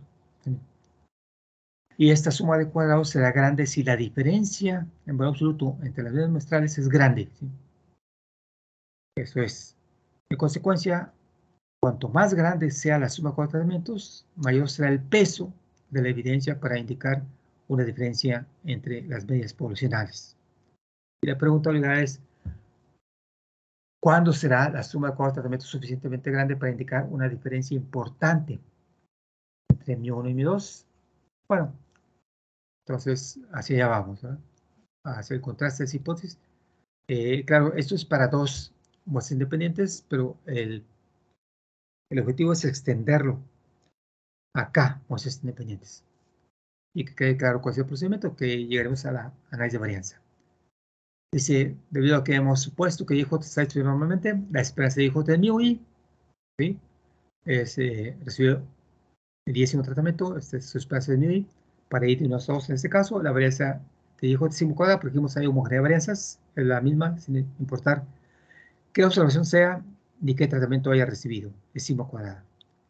Y como la suma cuadrada entre sus gravedad, que es 2 n 1 2, es idéntica al estimador agrupado o ponderado de sima cuadrada empleado en los capítulos 8 y 10, pues se deduce que la esperanza de ese cuadrado P es sima cuadrada, que ya lo habíamos hecho anteriormente en los capítulos. Entonces tenemos que ese cuadrado P, que la suma cuadrada entre su gravedad, es un estimador insesgado de sima cuadrada. Bueno, entonces eh, podemos nosotros dividir la suma cuadrada de error entre suma cuadrada. Esta suma de cuadrado, esta, ¿qué es esta? De suma cuadrada. Y esto, al hacerlo, pues nos quedaría simplemente esta cantidad. La suma cuadrada igual sería la sumatoria J igual a N1, Y1J menos Y medio al cuadrado, suma cuadrada, más la sumatoria J igual a N1, Y2J menos Y medio al cuadrado, suma cuadrada. Eso tenemos. Pues, como estamos trabajando bajo normalidad, digamos que esta cantidad se distribuye como una G cuadrada con los grados de libertad del error, que en este caso sean 2 por N1 menos 2. Y eso viene ya justificado en la sección de puntos que ya vimos. Entonces, ya sabemos que la suma de cuadrados del error entre sigma cuadrada se distribuye como una G cuadrada con los grados de libertad del error. Eso implica, eh, rápidamente, que vamos a más adelante que la esperanza de la suma con los tratamientos va a ser igual a sigma cuadrada más n1 entre 2, la diferencia de medias poblacionales al cuadrado. Vamos a aceptar que esto es cierto y a, esperar la justificante más adelante. Si tomamos la esperanza de la suma de cuadrados de tratamientos, que es esta, llegaríamos, al tomar la esperanza y aplicar el poder de esperanza, llegaríamos a este resultado, como que sea cierto. Noten ustedes, es interesante observar aquí que la esperanza de los tratamientos es la varianza general, que se hacer la varianza del error, ser una cantidad que no puede ser negativa. Puede ser cero, pero no negativa.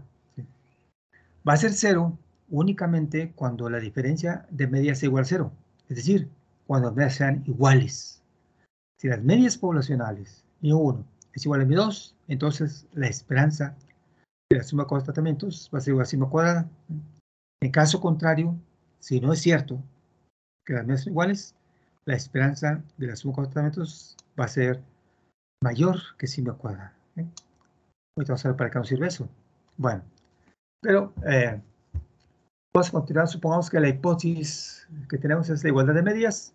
Y entonces diríamos z, z, que sería la diferencia de medias, de número de 2, sobre la raíz cuadrada positiva de su varianza, pues nos quedaría una variable aleatoria con condición normal 0,1, esa z. Esta z, que esta cantidad se distribuye con una normal 0,1, o sea, normal estándar. Esta. Que estamos trabajando con el supuesto de varianzas, ¿verdad? Y que también tenemos igual número de repeticiones. Para esta muestra y para esta otra muestra es n1. Y sabemos también que si esa normal 0,1 le damos al cuadrado, esta, pues nos quedaría una G cuadrada con un grado de libertad. Entonces, esta cantidad al cuadrado, que no es otra cosa más que la suma de tratamientos entre sigma cuadrada, es una G cuadrada entre, es una G, cuadrada perdón, con un grado de libertad. La suma de tratamientos entre sigma cuadrada es una G cuadrada con un grado de libertad. Pues, y otro aspecto relevante, ¿sí? es que esta G cuadrada libertad únicamente depende de las medias muestrales y medio 1 y medio 2 en este caso. El y medio 1 menos y medio al cuadrado por otras constantes. Tenemos repeticiones, 2 y signo cuadrado. Bueno, y que la suma de del error depende únicamente de las varianzas muestrales. La suma de cuadrados del error. Esta depende únicamente de las varianzas muestrales. Ya vimos que bajo normalidad las medias muestrales y las varianzas muestrales son independientes. Entonces quiere decir que las i cuadradas son independientes. Esta i cuadrada es independiente de esta otra y cuadrada. Entonces, si tomamos la razón de dos iguales independientes, cada una de ellas su gravedad, ya sabemos que lo que resulta es una f, una variatoria con su f, y eso lo podemos revisar en la definición 7.3 de nuestro texto. Entonces, esto suponiendo que la hipótesis de que la igualdad sea cierta, esta razón de g cuadradas independientes, cada una de su gravedad, el numerador tiene un gravedad, el denominador tiene como gravedad 2n1 menos 2. Ojo, con igual número de repeticiones para cada muestra n1. Y es una f con cuántos gravedad del numerador? 1. ¿Cuántos gravedad del denominador? Que llama b2, es 2n1 menos 2. Ok, eso sería.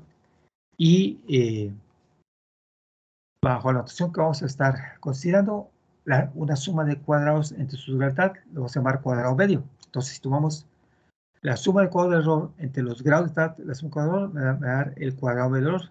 Aquí le como en inglés, EBSE, Mean Square Error. pero por siglas en inglés, pero es el cuadrado medio del error para nosotros. Y aquí el cuadrado de tratamientos o cuadrado de factor, MST, es la suma de cuatro tratamientos entre uno, porque es un grado de libertad. Y la hipótesis que tenemos es la igualdad de medias. Bueno, entonces dice que el cuadrado de tratamientos cuadrado representan estimaciones de sigma cuadrada. En el caso de que la, hipótesis sea cierta, porque dijimos, si la hipótesis es cierta, las medias son iguales, entonces esta cantidad es cero, y la suma de cuatro tratamientos es igual a sigma cuadrada, su esperanza. Entonces, la suma de cuatro tratamientos es un estimador sesgado de cuadrada, igual que eh, el caso de la suma de tratamientos ah, entre sus gravedad o sea, el S cuadrado P que decíamos, esta, la esperanza de S cuadrado P sigma cuadrado.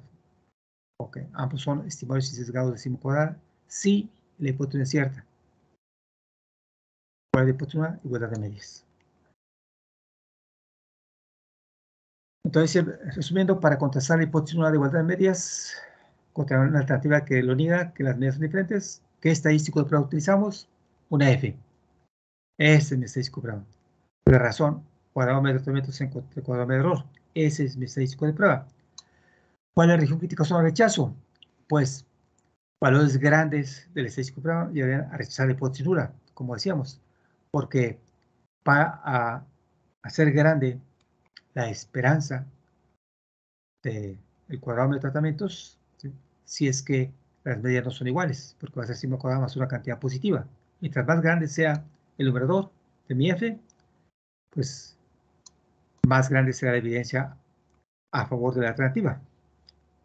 Dicho de otra manera, el estadístico f puede tomar cualquier valor desde cero hasta menor que más infinito. Valores grandes de f me llevan al rechazo de la hipótesis nula. ¿Qué tan grandes? Bueno, tendríamos que eh, fijar un nivel de significancia alfa y encontrar un punto de corte. Y cuando la f calculada sea mayor que ese punto de corte, aquí le ponen f alfa, que este f alfa es el valor de la distribución f con un grado de tal en el numerador y v, v2 grados de tal en el numerador, que son los grados del error. Y alfa es ese valor que me deja una hacia la derecha para esa distribución f con 1 en el numerador y, que es 1, y v2 el denominador.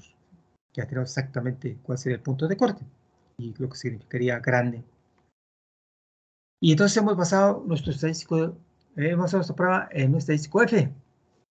¿Cuál es la ganancia aquí? Si ya lo sabemos hacer usando una T-Student. La ganancia es que vamos a poder extender esta metodología. Para la prueba de dos muestras en concesión, la prueba que acabamos de describir es equivalente a la prueba T de dos colas del capítulo 10.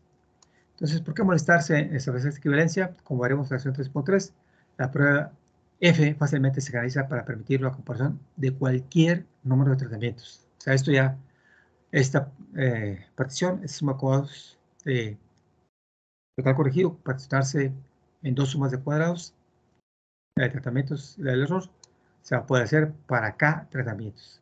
Okay. Bien, un pequeño ejemplo aquí ilustrativo nada más para considerar cómo se procede y la relación que guarda esta F con la T realmente una T al cuadrado es una F, pero bueno.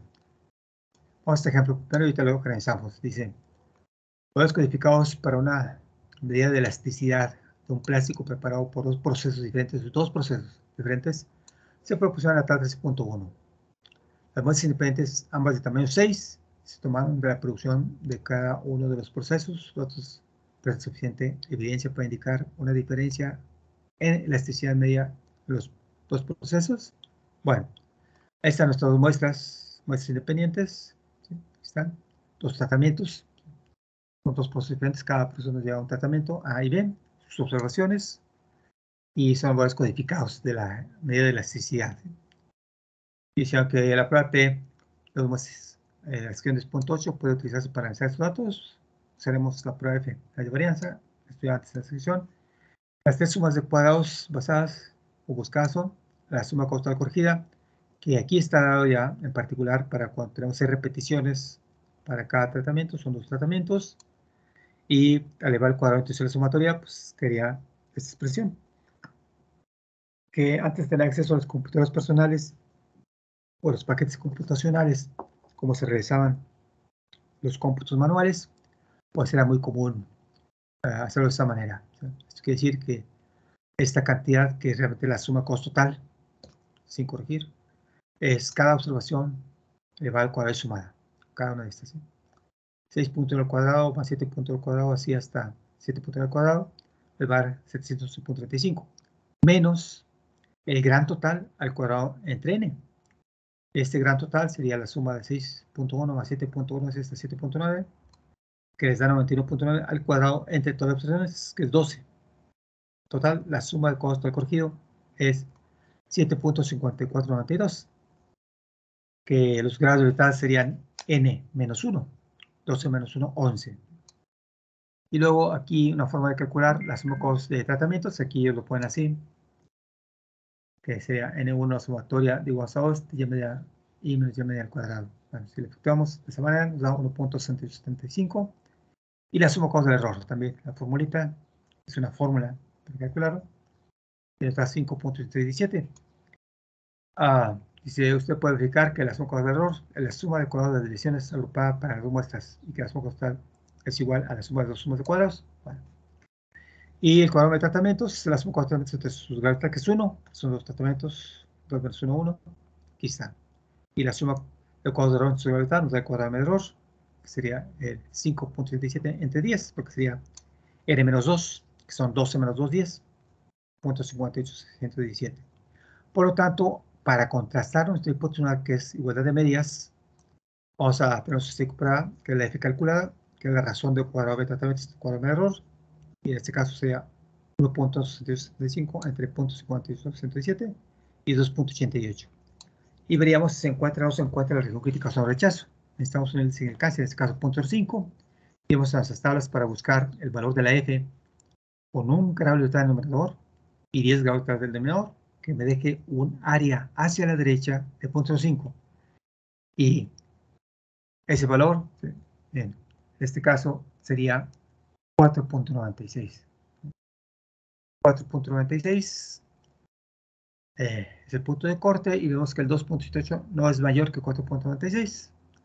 Por lo tanto, no se rechaza la hipótesis nula. Es decir, con el 50.5 no hay suficiente evidencia para indicar una diferencia entre las dos medidas que nos interesan, ni 1 ni 2. Si vamos a, a, buscar el valor de P, el nivel de significancia alcanzado, el p-value, con Excel puedo hacerlo y sería 0.12054. El valor de P es mucho mayor que el alfa, por lo tanto no se rechaza la hipótesis nula, de que las medidas son iguales. Y eso es, bueno, para que quede claro cómo se procedía con los cálculos. De aquí las recomendaciones que ustedes lo hagan manualmente y verifiquen que los resultados son correctos.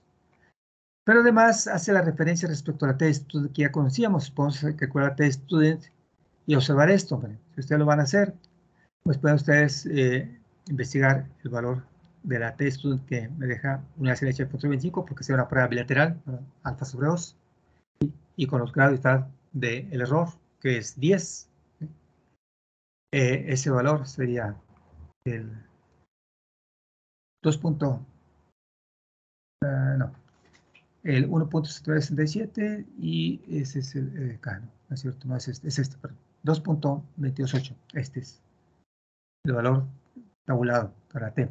T estudio que mejora hacia hecha 0.25, alfa 2, con libertad es 2.28. Y el T calculado, si lo hacemos para la prueba de estudio que hacemos, va a ser menos 1.767, que en valor absoluto no es mayor que el 2.28, 2.28, por tanto no se rechaza de 1. Pero ojo, el T al cuadrado, que es este, 1.7 no es este cuadrado, me da el 2.88, que es la F calculada, esta. Y la relación que se guarda entre la T student y la F, cuando la F tiene un grado está en el numerador. Bueno. Miren, este ejemplo, 3.1, creo que también tengo los datos por ahí. Déjame revisarlo. Quitar esto de aquí.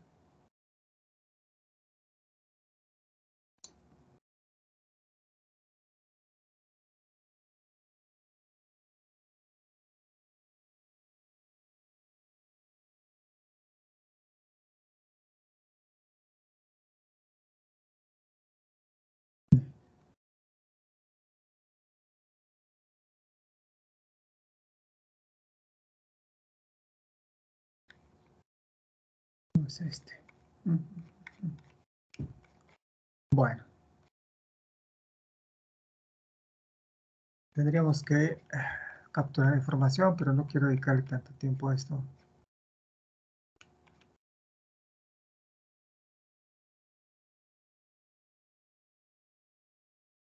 Pensaba que lo tenía aquí. Eh, 13.1.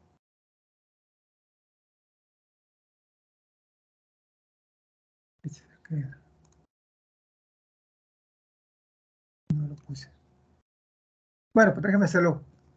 Suponiendo que muestras independientes, como ven aquí, en total, para ilustrar. Supongamos suponer por un momento que tenemos dos muestras independientes. Ojo, por eso pues que muestras independientes. Y supongamos que tenemos 12 repeticiones para tratamiento 1, método 1, y 12 repeticiones para tratamiento 2, método 2. Entonces, en total son 24. Y para efectuar el análisis de varianza, yo podría hacer aquí, analizar. En este caso tengo varias opciones. Una es esta. Vamos a comparar medias. Ojo, ANOVA de un factor. Tengo uh, la respuesta, que es del ejemplo anterior, pero ahora estoy col colocando eh, el ejemplo anterior de muestras relacionadas, estoy colocando compuestos independientes, porcentaje de mineral de hierro, y tengo el método, que son dos métodos, que es el, aquí factor, el método, dos. Y los contrastes, bueno, pues no a pedir nada, pero sí en opciones, lo descriptivo. Perdón, ahí está. aceptar. Aquí está. Bueno, como quiera, aquí se ve que rápidamente lo lado descriptivo, que son las dos medias, y media 1 y media 2, la media general, revisiones estándar, etcétera, en toda confianza para cada uno de ellos. Las sumas de cuadrados que llama intergrupos, que sea tratamientos para nosotros, intragrupos para errores para nosotros, y total corregido. Ya sabemos, total corregido puede ser n-1, que sería 24 menos 1, integral Para el error, que, que decíamos, 2n menos 2, que sería 24 menos 2, 22. Y uno para tratamientos, los cuadrados medios, que le pones siempre media cuadrática, que es para medio. La F calculamos pequeñita y el valor de P. Ok. Esto es eh, más un ejemplo. Ahora vamos, rápidamente lo vamos a obtener con la computadora. Y también reconocer este hecho. Si yo voy aquí, comparar medias, muestras independientes, y coloco la variable respuesta y la variable de agrupación, que es método. Aquí, más para que se observe, está usando el método, ok, cancelar. Aquí tengo que poner el valor que puse para cada método. 1 y 2. Otra vez, analizar, comparar medias, muestras independientes. La respuesta, método 1 y 2. Opciones, intervalo máximo de confianza y aceptar. Ya lo hizo, aquí está ahora, otra vez, las medias que son las que tenemos acá, 37.35, 37.67, etc. La T calculada, aquí resultó, tengo que tomarlo aquí, Voy a tomar los dos para que se observe la F. Fue muy pequeñita ahora.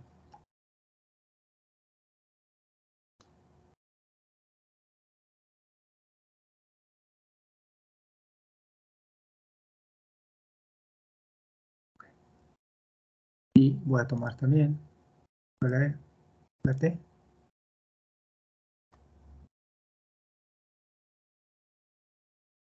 Este es mi F.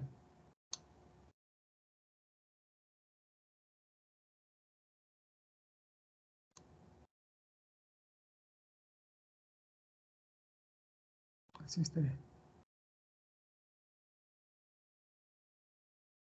Y la T calculada que tenemos aquí es esta.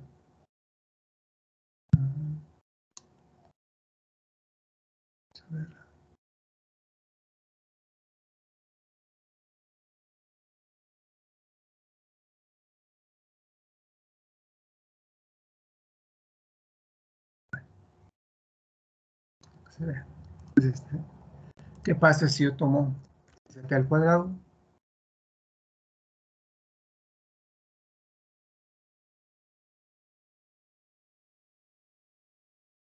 Un segundo. No sé por qué no tomo el cuadrado, pero déjenme.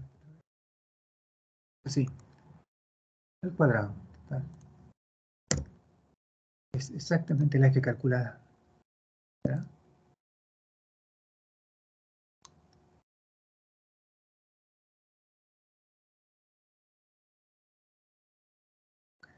Tomo otro valor.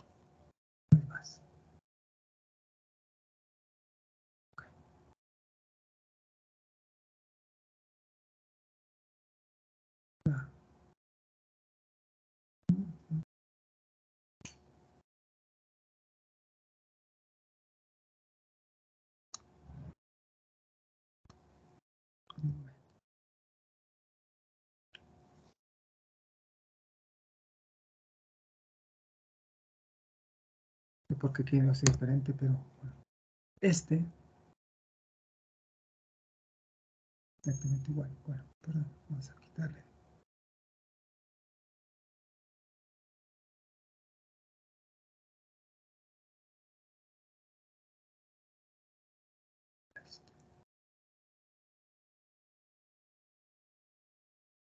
Bueno, este que es el t calculado al cuadrado, exactamente la f aquí. son por muy pequeñitos.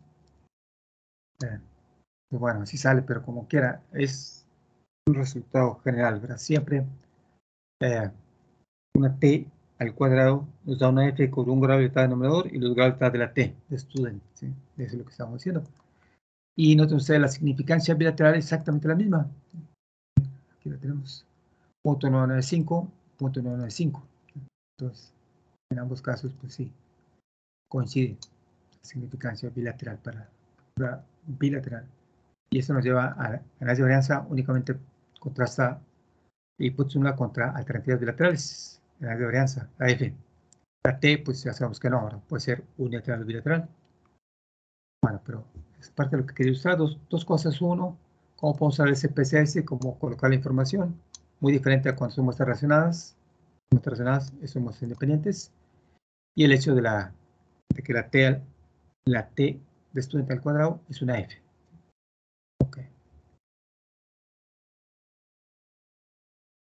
Y esto pues por ahí lo tengo, pero verificar esta información y que lo analice y nos darían esas sumas de cuadrados. Y esta f. 2.88. Bueno, ahora sí, vamos a generalizar para tenemos más de dos medias. ¿eh? Dos medias, o sea, 3, 4 y eh, tenemos el diseño de un factor, el completamente al azar, o el modelo con un criterio de clasificación se le llama. Entonces, tenemos muestras independientes de K poblaciones y es el diseño de un factor, lo que estoy diciendo. Ok, en general, otra vez, van a ser K poblaciones, 2, 3, 4K. Cada porción tiene su media, sub 1 es la media de la porción 1, mu sub 2 es la media de la porción 2, mu sub k es la media de la porción késima. Vamos a suponer homogeneidad de varianzas, que todas las varianzas son iguales, no es una sola varianza, sigma cuadrada. No importa de dónde ponga la observación, su varianza es la misma, sigma cuadrada. Y además vamos a permitir que tengamos diferentes números de repeticiones. O sea, tamaños de muestra no son iguales. NI. Y su índice I va de 1 hasta acá. O sea, N1 el total de repeticiones que tenemos para la población 1 para tratamiento 1. N2, el total de oscilaciones o repeticiones para la población 2 para el tratamiento 2 y así sucesivamente hasta el késimo. Es obvio entonces que la sumatoria de los NI desde 1 hasta acá pues me da el N la final, el total de observaciones en el estudio. La notación también eh, se simplifica si usamos eh, el punto, notación punto. En general, en este caso, para este diseño, se requieren dos subíndices, el Y y J. Y esto ya va a depender de cada diseño que se utilice, porque hace un momento hablábamos del cuadro latino, donde teníamos tres factores, ahí vamos a requerir tres, tres subíndices. Pero bueno, en este momento necesitamos dos subíndices, J, Y y J. Denotemos con Y y J la respuesta para la J décimo experimental en la ísima muestra. y vamos a representar con y punto y media punto el total y la media, respectivamente, de las NI respuestas en la yésima muestra. El total muestral y la media muestral para el yésimo tratamiento, la yésima población. El punto de la segunda posición del subíndice Y punto tiene la finalidad de recordar al lector que esta cantidad se calcula sumando todos los eh, posibles valores del subíndice, que es un sustituido por el punto, J en este caso. Ok, entonces y media y punto indican media que premiado los valores de la yésima muestra. Y eso en sí, pues para irlo hasta acá. Bueno, entonces aquí tenemos que lo que es el y punto, la sumatoria de yj con j de suma NI. Y el y media y punto, pues sería ese y punto entre NI.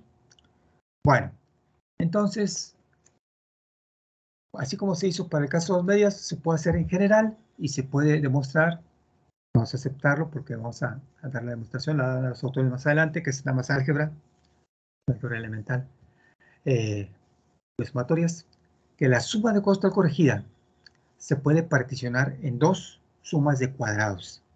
La suma de cuadrados tal corregida, que es esta, se puede particionar en la suma de la suma de cuadrados de tratamientos y la suma de cuadrados del error. Esta suma de cuadrados tal corregida, que es esta, ya con nuestra notación generalizada, el subíndice iba de 1 hasta acá, de tratamientos o eso que estamos analizando, y J de 1 hasta NI, de, y, de la diferencia y J menos Y media al cuadrado. Una vez que nosotros elevamos al cuadrado e introduzcamos ambas sumatorias, se va a expresar de esta manera, que era parte de lo que decíamos. que Esta es una manera más simple, más fácil de efectuar, eh, más precisa, si lo hacemos a mano. Y sería cada observación que tenemos elevada al cuadrado y sumada sumadas sobre repeticiones, sumadas sobre tratamientos. Y el CM que se llama factor de corrección por la media, o suma de cuadros de la media también. Pues el C, este CM que ponen los autores es el total de todas las observaciones al cuadrado entre las observaciones, que es la sumatoria de IJ sobre J y sobre I, lo que resulte al cuadrado entre todas las observaciones. Esa es la suma de cuadrados de la media o el factor de corrección para la media y es simplemente n veces y al cuadrado. Ok. Bueno, entonces, también esta suma de cuadros tratamientos se puede realizar y resulta ser esta cantidad. Hace un momento lo olvidamos para los tratamientos, ahora para cada tratamiento es esta. La sumatoria de igual hasta acá, ni, y media y punto menos y media al cuadrado. Este es el sumo costo de tratamientos. Que, eh, otra vez, al elevar al cuadrado esta esta diferencia e introducir la sumatoria, pues nos va a quedar este resultado, que también es bien útil si lo vamos a efectuar de manera manual. Y aquí vemos la necesidad de tener los totales. Va a ser el total de cada tratamiento elevado al cuadrado, dividido entre el número de observaciones, sumado del tratamiento 1 hasta el décimo y restándole el factor de corrección, digamos CM. La suma de cuadrados del error lo podemos tener por diferencia si es cierto que la suma costo corregido es igual a la suma de suma de tratamientos más suma de error, pues despejamos, resulta que la suma de error es igual a la suma de corregido menos la suma de tratamientos. Entonces, es más simple así, si ya hemos calculado estas dos sumas de cuadrados. Ok. También, al observar la suma de cuadrados del error. ¿Esta? Pues rápidamente podemos visualizar que puedo multiplicar y dividir eh, este término por ni menos 1. Multiplicar y dividirlo. Y lo que resultaría sería esto. La sumatoria de igual hasta acá, ni menos 1, si cuadrado. Y este si cuadrado pues, es la varianza muestral para las observaciones que provienen del décimo tratamiento o décima población. Entonces, cada varianza muestral multiplicado por el número social más 1 sumado de tratamiento 1 hasta el décimo me da la suma de cuadros del error. Que son diferentes formas de calcular la suma de cuadros del error. Aquí dijimos por diferencia, aquí decimos si es que calculamos las varianzas muestrales. Ok, entonces, tenemos nosotros eh, ya cómo procederíamos. En particular, observar que la suma de error es una función solamente de las varianzas muestrales. Aquí lo vemos, únicamente las muestrales. Y con ellos acá.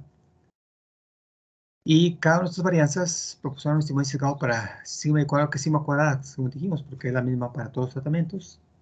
Hay una homogeneidad de varianzas.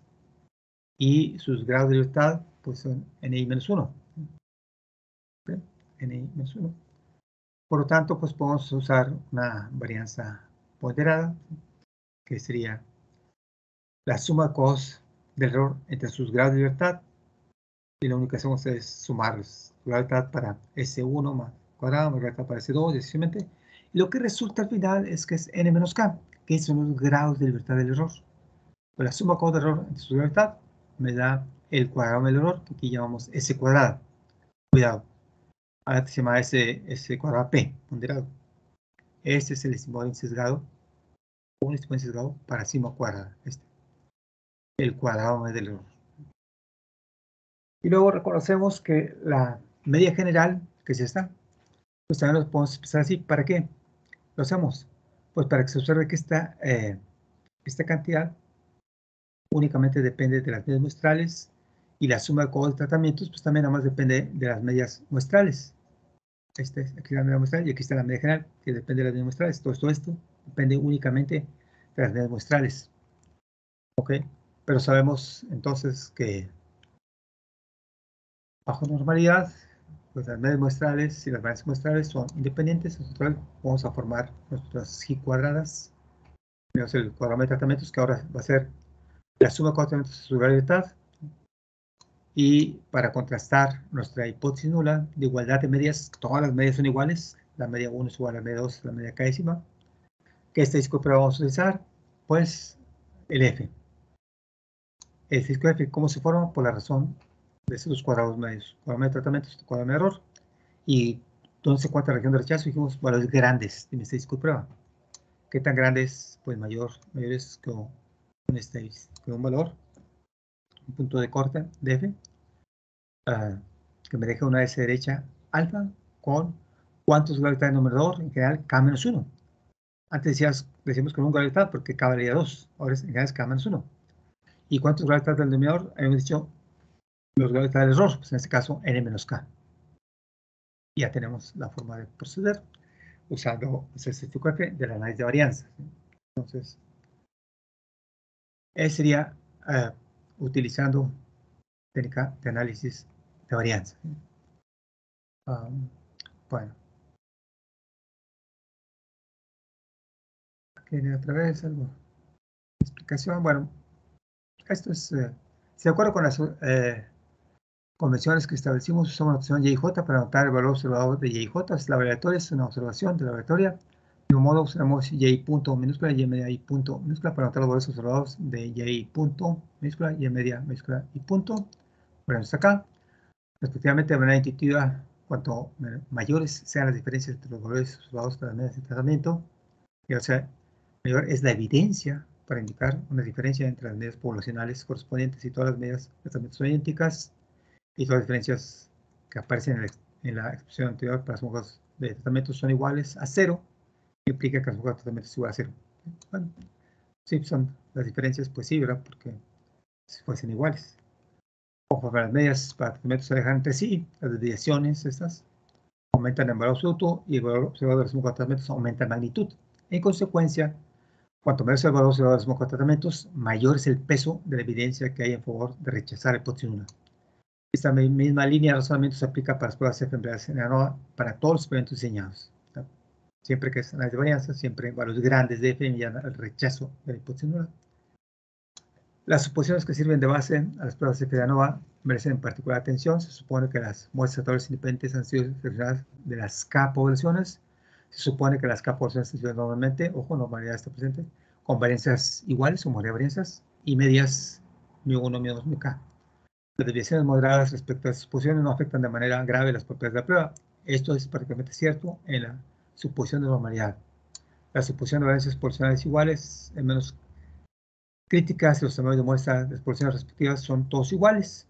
Se dice que un diseño de un factor con igual número de observaciones o repeticiones por tratamiento está balanceado.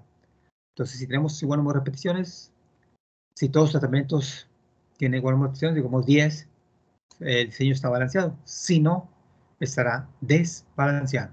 ¿sí? Ok. Ah. Bueno, antes de ver el ejemplo este, déjeme hacer un pequeño receso de 5 minutos, nada más, para esa oportunidad de cualquier cosa que quieran realizar.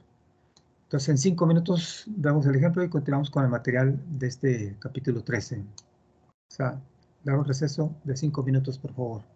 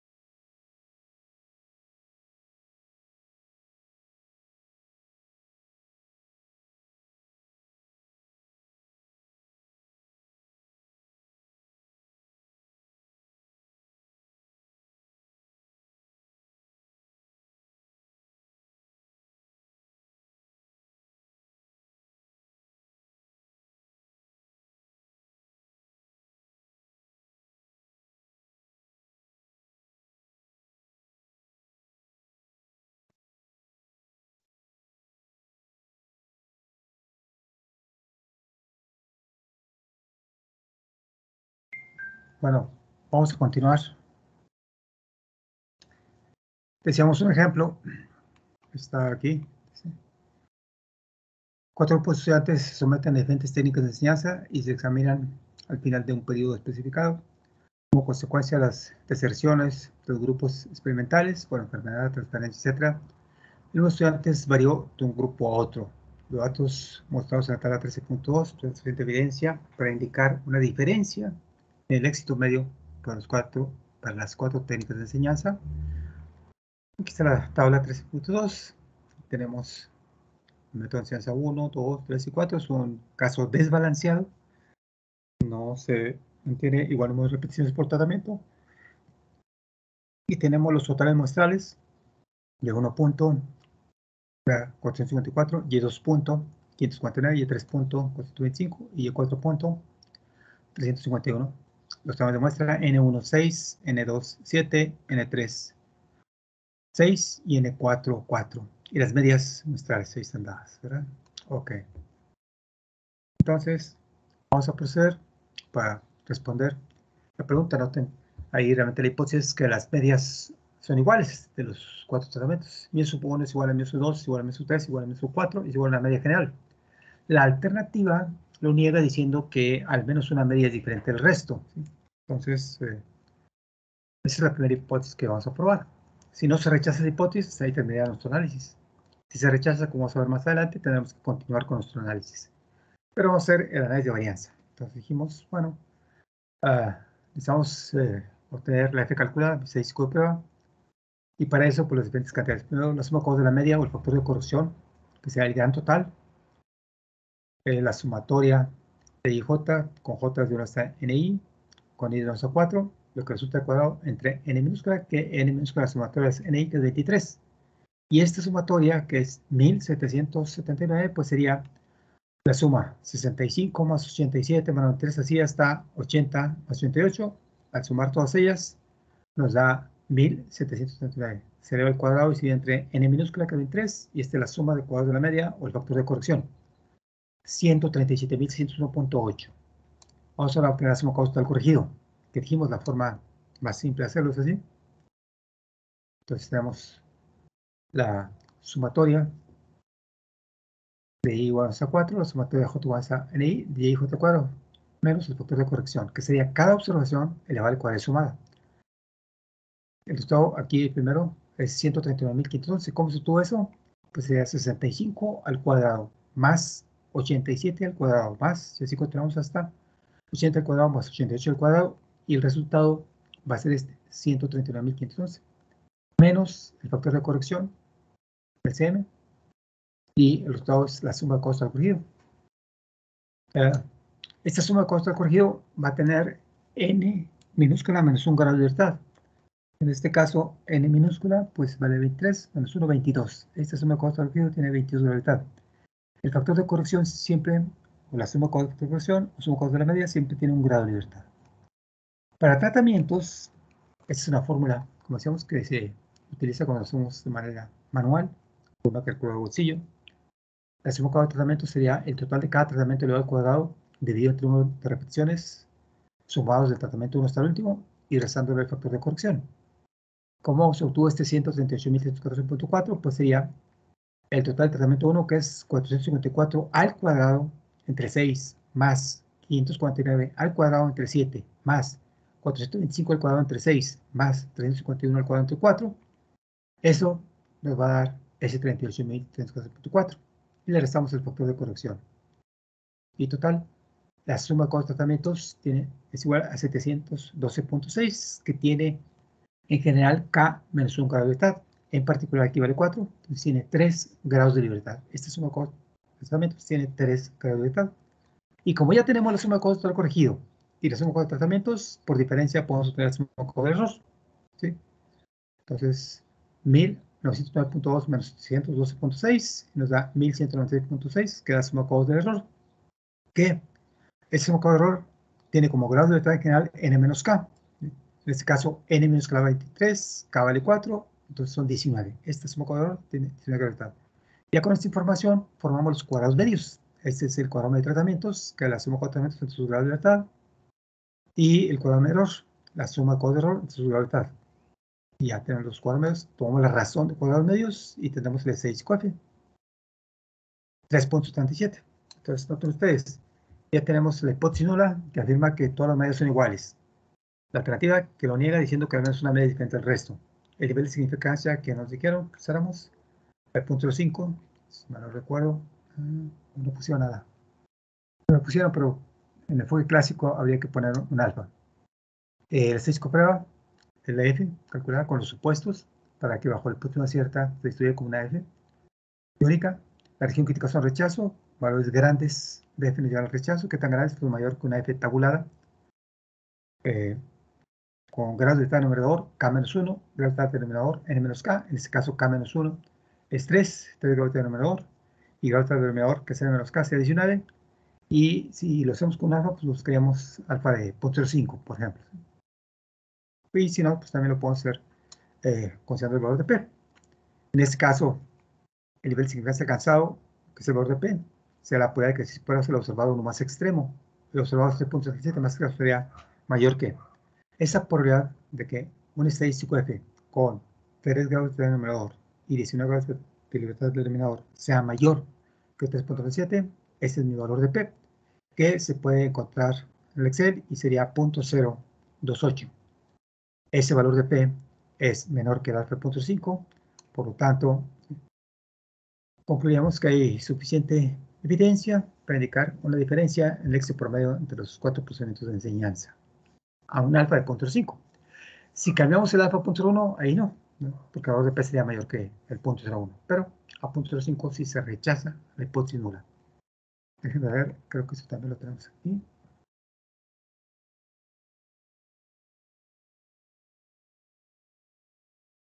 A ver. Ah, y el asunto de buscar el 13.1. Pero o sí lo tenía ahí, nada más que estaba en otra carpeta. Para ilustrarlo también. Ok. Mira este, Déjame traerlo una vez. Y tengo que quitar. Este.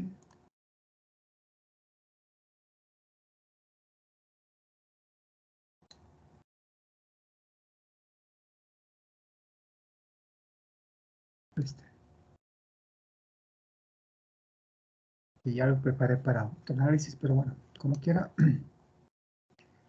Este, primero, este ejercicio es el anterior, pero no confundir demasiado. Es este ejemplo 3.1 donde tenemos los tratamientos. ¿sí? Ya, aquí lo tenemos. Si digo la F calculada 2.88. Ok. Y el valor de P pues, fue 0.12054. Vamos a rechazar la Aquí ya tenemos la base de datos, cómo se coloca, grupo 1, grupo 2. Esto lo organizamos nada más, las primeras columnas. Esto lo puse adicional, pero vamos a quisiera analizar y iríamos a comparar medias a nuevo de un factor. Vamos a hacerlo así. La respuesta, agrupación, los contrastes, ¿no? Pero en opciones, lo descriptivo. Ya lo hizo. Y aquí está la F, 2.879, que es precisamente la que tenemos aquí. 2.87. Bueno, aquí le ponen 2.88, eso es. Y el valor de P, que dan acá, punto 12. ¿Cuánto tienes acá? Punto 12, ahí está el valor de P. Bueno, también la idea es que vean cómo se coloca la información, son uh, aquí dos muestras independientes, caso particular de la diferencia, y también lo podemos hacer con la prueba T. Comparar medias, muestras independientes entonces, para la respuesta, la agrupación, le colocamos 1 y 2. Ya está. Entonces, este. Y bueno, acá también.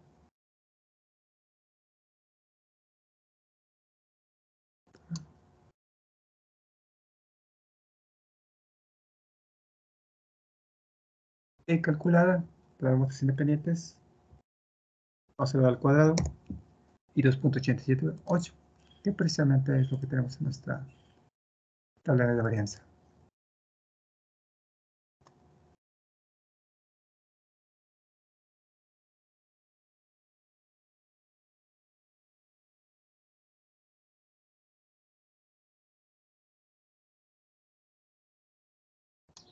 Ahí está. La T al cuadrado y la F. Y claro, el valor de P bilateral de P, exactamente el valor de P de la F, también de varianza.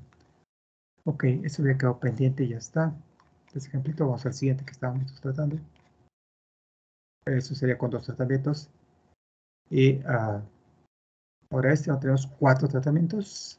El ejemplo 3.2. Este.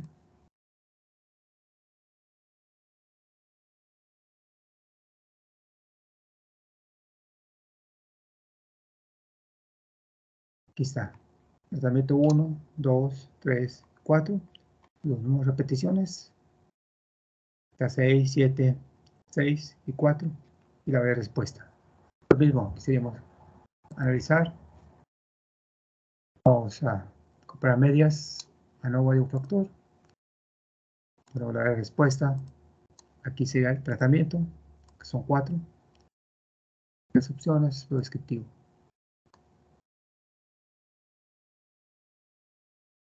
Ya lo hizo, aquí están las medias de tratamientos, la media general, y nuestro estadístico prueba la F calculada 3.77 y el valor de P, 0.028. La F calculada 3.77 y el valor de P, 0.028. Como pueden observar, es bastante simple. Estas medias, déjame colocar aquí, no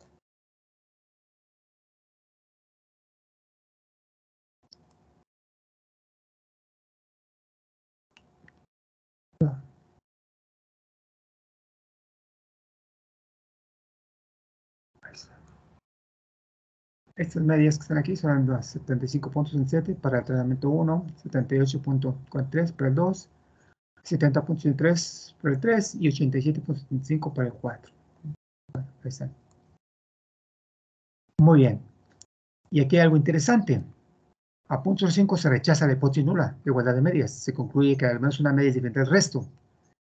Y entonces, en este tipo de situaciones, nuestro análisis no termina porque tendremos que ir a efectuar eh, comparaciones múltiples, contrastes. Vamos, dar una explicación de por qué se está rechazando la hipótesis nula. Aquí lo más que podemos decir es que pues la media muestral mayor, que es 87.35, tratamiento 4, es diferente del tratamiento que tiene la media muestral más pequeña, 70.3. Tratamiento 3 y 4 son estadísticamente diferentes. Mu sub 3 y mu sub 4 son diferentes, pero no sabemos qué relación guardan ni sub 1, ni sub 3 con ni sub 4, etc. Y hay otros procedimientos que ahorita vamos a ver más adelante, pero bueno, ese es. Ahora, eh, viene aquí la, para que dejar claro todo esto, la tabla de la varianza para un diseño de un factor. Y básicamente dejar en claro qué es lo que se va a presentar en una tabla de varianza, aunque no siempre es en este orden, sí contiene todos sus términos. Entonces, para el completamente al azar o un factor, tenemos como fuente de variación tratamientos o factor, error total y es total corregido. Grados de libertad para tratamientos siempre será K-1, el número de tratamientos menos 1, el número de poblaciones que tengamos menos 1. Para el error siempre será N-K, el total será menos 1 de tratamientos. Y el total corregido o total corregido sería N-1. Las sumas de cuadrados, es la suma total corregido, la suma de tratamientos que vimos anteriormente, la suma de error también que se dio anteriormente, y la razón de suma de cuadrados de libertad, los dos cuadrados veis, en este caso tenemos el cuadrado de tratamientos, el cuadrado de error, y finalmente el estadístico F, la razón del cuadrado de tratamientos entre cuadrado de error y el estadístico F. Para el caso que estamos viendo, esta es la tabla de varianza, que también déjenme ponerlo así como obtuvimos ahorita, en el SPSS, aquí está. Y noten ustedes como la presentación del SPSS es diferente, porque Dice intergrupos, que es tratamientos. Intra, o sea, dentro de grupos, que es el error. Y lo total, que es el corregido. Lo primero, la primera columna son, uh, estaba para la suma de cuadrados, mientras acá reporta los grados de libertad, pues irrelevante, como se prende. Son las mismas cantidades. Y este cuadrado medio, ahí está. Y la F calculada que es la misma, 3.77. Bueno, esa es nuestra tabla de la diferencia que lo que es el estadístico de prueba. Y pues por eso es que automáticamente los paquetes computacionales automáticamente reportan ese prueba y su valor de P. Para que se observe si Y a uno de significancia se rechaza o no se rechaza la hipótesis nula. En este caso, 0.05 se rechazó la hipótesis nula.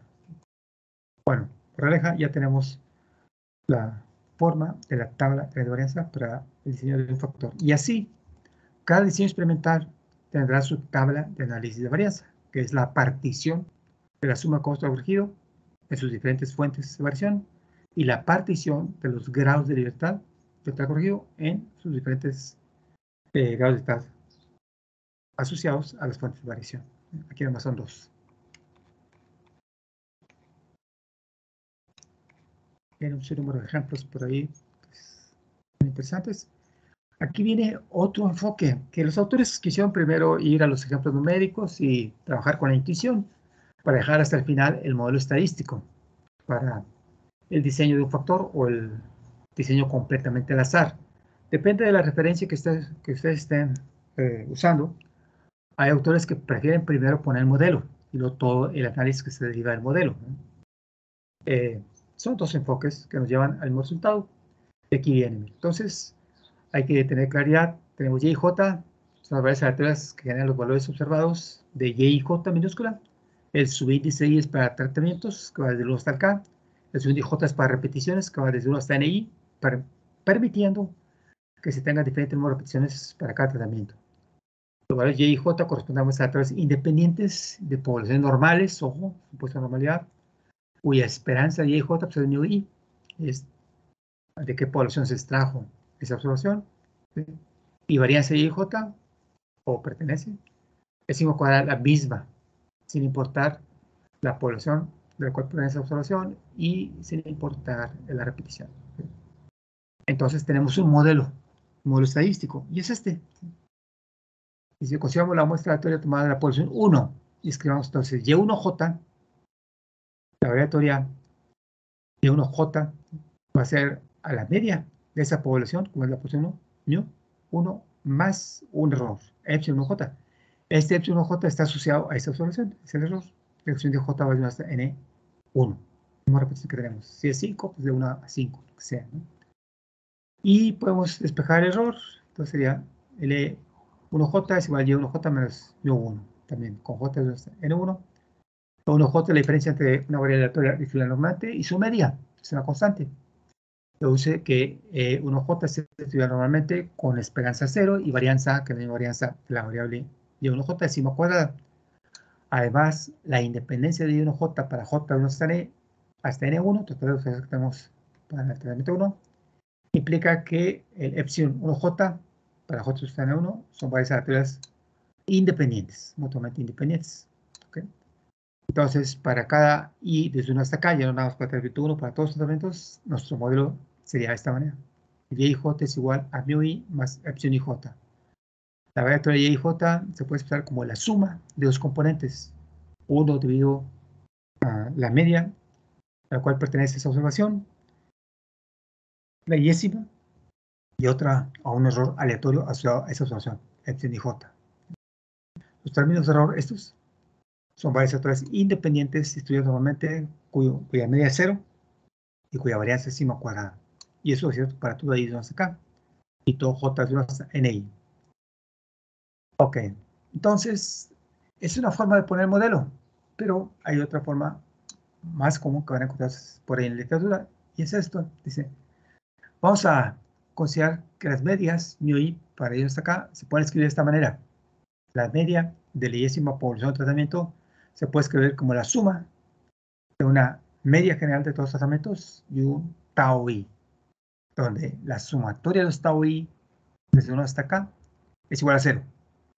Dice, noten ustedes, si yo tomo la sumatoria de igual hasta acá, de esta, que sea la sumatoria de mi hasta hoy, pues una constante es la amplitud de la sumatoria por la constante más la sumatoria de tau i. Pero dijimos que la sumatoria es cero. Ah, pues entonces simplemente me queda acá mu. Y de espejo, mu, la media general, es igual a 1 sobre k la sumatoria de mu i. Es solo el promedio de las k medias poblacionales, los valores de mu. El promedio de estas mu i es mu. Por eso mu suele citarse como la media total, la media general, como quieran decir. Y para ir de hasta acá, el tau i, ese tau que aparece es el mu i menos la media general. ¿Y qué está cuantificando? la diferencia entre la media para la décima población y la media total, la media la décima población y la media total. Y el tau i recibe el nombre de efecto de tratamiento o efecto de población, en este caso iésima. Total, podemos dar nuestro modelo estadístico. Un modelo estadístico tiene al menos un término aleatorio, y aquí está. Para ir desde uno hasta acá, donde cada representa el número de tratamientos, J es I, donde N representa el número de repeticiones para el mismo tratamiento. Y y J es igual a Dios, tau I más epsilon y J. Este es mi modelo estadístico. Tenemos, aquí lo dice claramente, Y y J, la J observación de la población o tratamiento I. Mu es la medida general, esa, la constante. Tau I es el efecto, ojo, no aleatorio del tratamiento I, con la restricción que la suma tau I cero. Y el epsilon y J los términos de error aleatorio, tales que el epsilon y j son varias aleatorias, ojo, varias aleatorias, son independientes, tienen distribución normal, su esperanza para todos es cero y su varianza es la misma, sigma cuadrada. Esos son los supuestos de mi modelo completamente azar o con un criterio de clasificación o de un factor, como lo quieran poner. Noten ustedes que dentro de los supuestos pues, está inmerso normalidad. Si yo supongo normalidad en los errores, esto supone normalidad en la respuesta. Independencia, también. Los errores son independientes. Homogeneidad de varianzas. Si la varianza es la misma para todos los errores, la varianza es la misma para todas la respuesta. Todas las opciones de la respuesta. Ok. Entonces, también podemos reconocer que inicialmente dijimos la hipótesis que queremos contrastar es la hipótesis de homogeneidad de medias. Es esta, la media 1 es igual a la media 2 a la media décima. Bueno, también la podemos poner así. La hipótesis que los efectos de tratamientos todos son iguales a cero. Porque si todos son iguales a cero, o sea, el modelo sea y y es igual a menos epsilon y j. O sea que todas las medias son iguales. Mi 1 es igual a mi 2, así está. Mi k. Entonces, eh, la hipótesis alternativa, que digas que mi i es igual a mi i prima para alguna diferente i prima, es que decir hipótesis alternativa es que tau diferente a 0 para una i entre 1 y k. Y la prueba F para igualdad de medias que presentamos en la sección 3.3 es la prueba de hipótesis de que todos los son iguales a cero contra la que no son iguales diferente de cero. Eso sí lo van a encontrar ustedes en la literatura, a veces haciendo referencia a las medias, a veces haciendo referencia a los efectos de tratamientos o poblaciones que estamos analizando. Efecto de tratamiento o efecto de población, el tau I, este modelo. Con esa restricción, cuidado, esa otra restricción que tenemos ahí. Viene ahora una justificante de algo de las sumas de cuadrados que mencionamos anteriormente y también de las esperanzas de los cuadrados medios. Que es ilustrativo revisarlo, miren. Eh, dijimos nosotros, en este caso del diseño completamente al azar o con un criterio de clasificación, la suma de cuadrados total corregida es esta expresión. Ojo, es álgebra nada más. ¿Qué vamos a hacer? Vamos a sumar y restar la misma cantidad. ¿Qué le sumamos? Y media y punto. Y le restamos y media y punto. Entonces es una igualdad trivial no hemos hecho nada. Pero vamos a agrupar. Entonces tenemos y j menos y media i, punto, por un lado, y acá y media y punto menos y media general. Y es un binomio al cuadrado. Pero al cuadrado, si el cuadrado de cada términos va a ser doble producto. Y luego introducimos la doble sumatoria. Y vamos a ver rápidamente que eso nos queda simplemente esa cantidad que al introducirlo, respecto a J, está. Pero ¿qué, ¿qué, sucede aquí? ¿Qué sucede aquí con Y y J menos Y medio y punto en este doble producto? Pues que esta cantidad, y como aquí lo está diciendo, ¿verdad? Introducir la sumatoria, que la sumatoria de J, que es Y punto, menos la amplitud de la sumatoria, que es NI por Y medio punto, y nos da simplemente Y punto menos Y punto, siempre. Siempre va a ser cero. Este doble producto siempre va a ser cero. Entonces, por eso es que la suma de cuadrados total se va a expresar como la suma de dos sumas de cuadrados, esta, que es la suma de cuadrados de tratamientos, y, perdón, la suma de cuadrados del error y la suma de cuadrados de tratamientos. Antes lo puso al revés porque quizá suma cuadrados del error y suma cuadrados de tratamientos. Ok, se lo pueden corroborar ahí desarrollo. Y ahora dicen, bueno, nos va a interesar por ahí analizar las esperanzas de los cuadrados medios, por lo tanto, y es ilustrativo para que se vea cómo se manejan estos modelos estadísticos para los siguientes diseños, en este caso, pues, eh, más simples, es completamente al azar. ¿Cómo se manejan? Expresar La, no nada más las observaciones, las medias en función del modelo, porque aquí tenemos nuestro modelo, ojo, y j es igual a mi más tau i más epsilon j, este.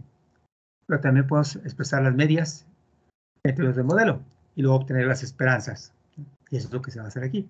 Dice, bueno, la y media y punto es una entre i, y punto, y pero este y j, ya dijimos, antes cuando es y, punto, será la sumatoria j más n y j, y este y j dijimos que el modelo me dice que es mi más i más epsilon y j. Lo sumamos sobre j. O sea, que queda la amplitud sumatoria que sería ni sobre ni, se elimina, queda mu. Otra vez aquí. Eh, como es sumatoria sobre j, la amplitud sumatoria ni, tau i entre ni, pues se elimina el ni. Pero acá, el último no. Hay que sumar sobre j, el epsilon y j, y dividir entre ni. Y este aquí, el e media i, es esa cantidad. Dice, ahora, como las i son todas independientes con esperanza cero y variación cuadrada, el teorema de la sección 5.12, pues implica que su esperanza es cero y su varianza es sigma cuadrada entre ni. Ya sabíamos que lo hemos usado en varias ocasiones. ¿Para qué queremos eso? Ahorita lo vamos a ver. También, eso es cierto para cualquier media de tratamiento ¿sí? Pero para la media general podemos hacer algo similar. La media general es 1 entre n, la sumatoria sobre i, sumatoria sobre j, de i, j.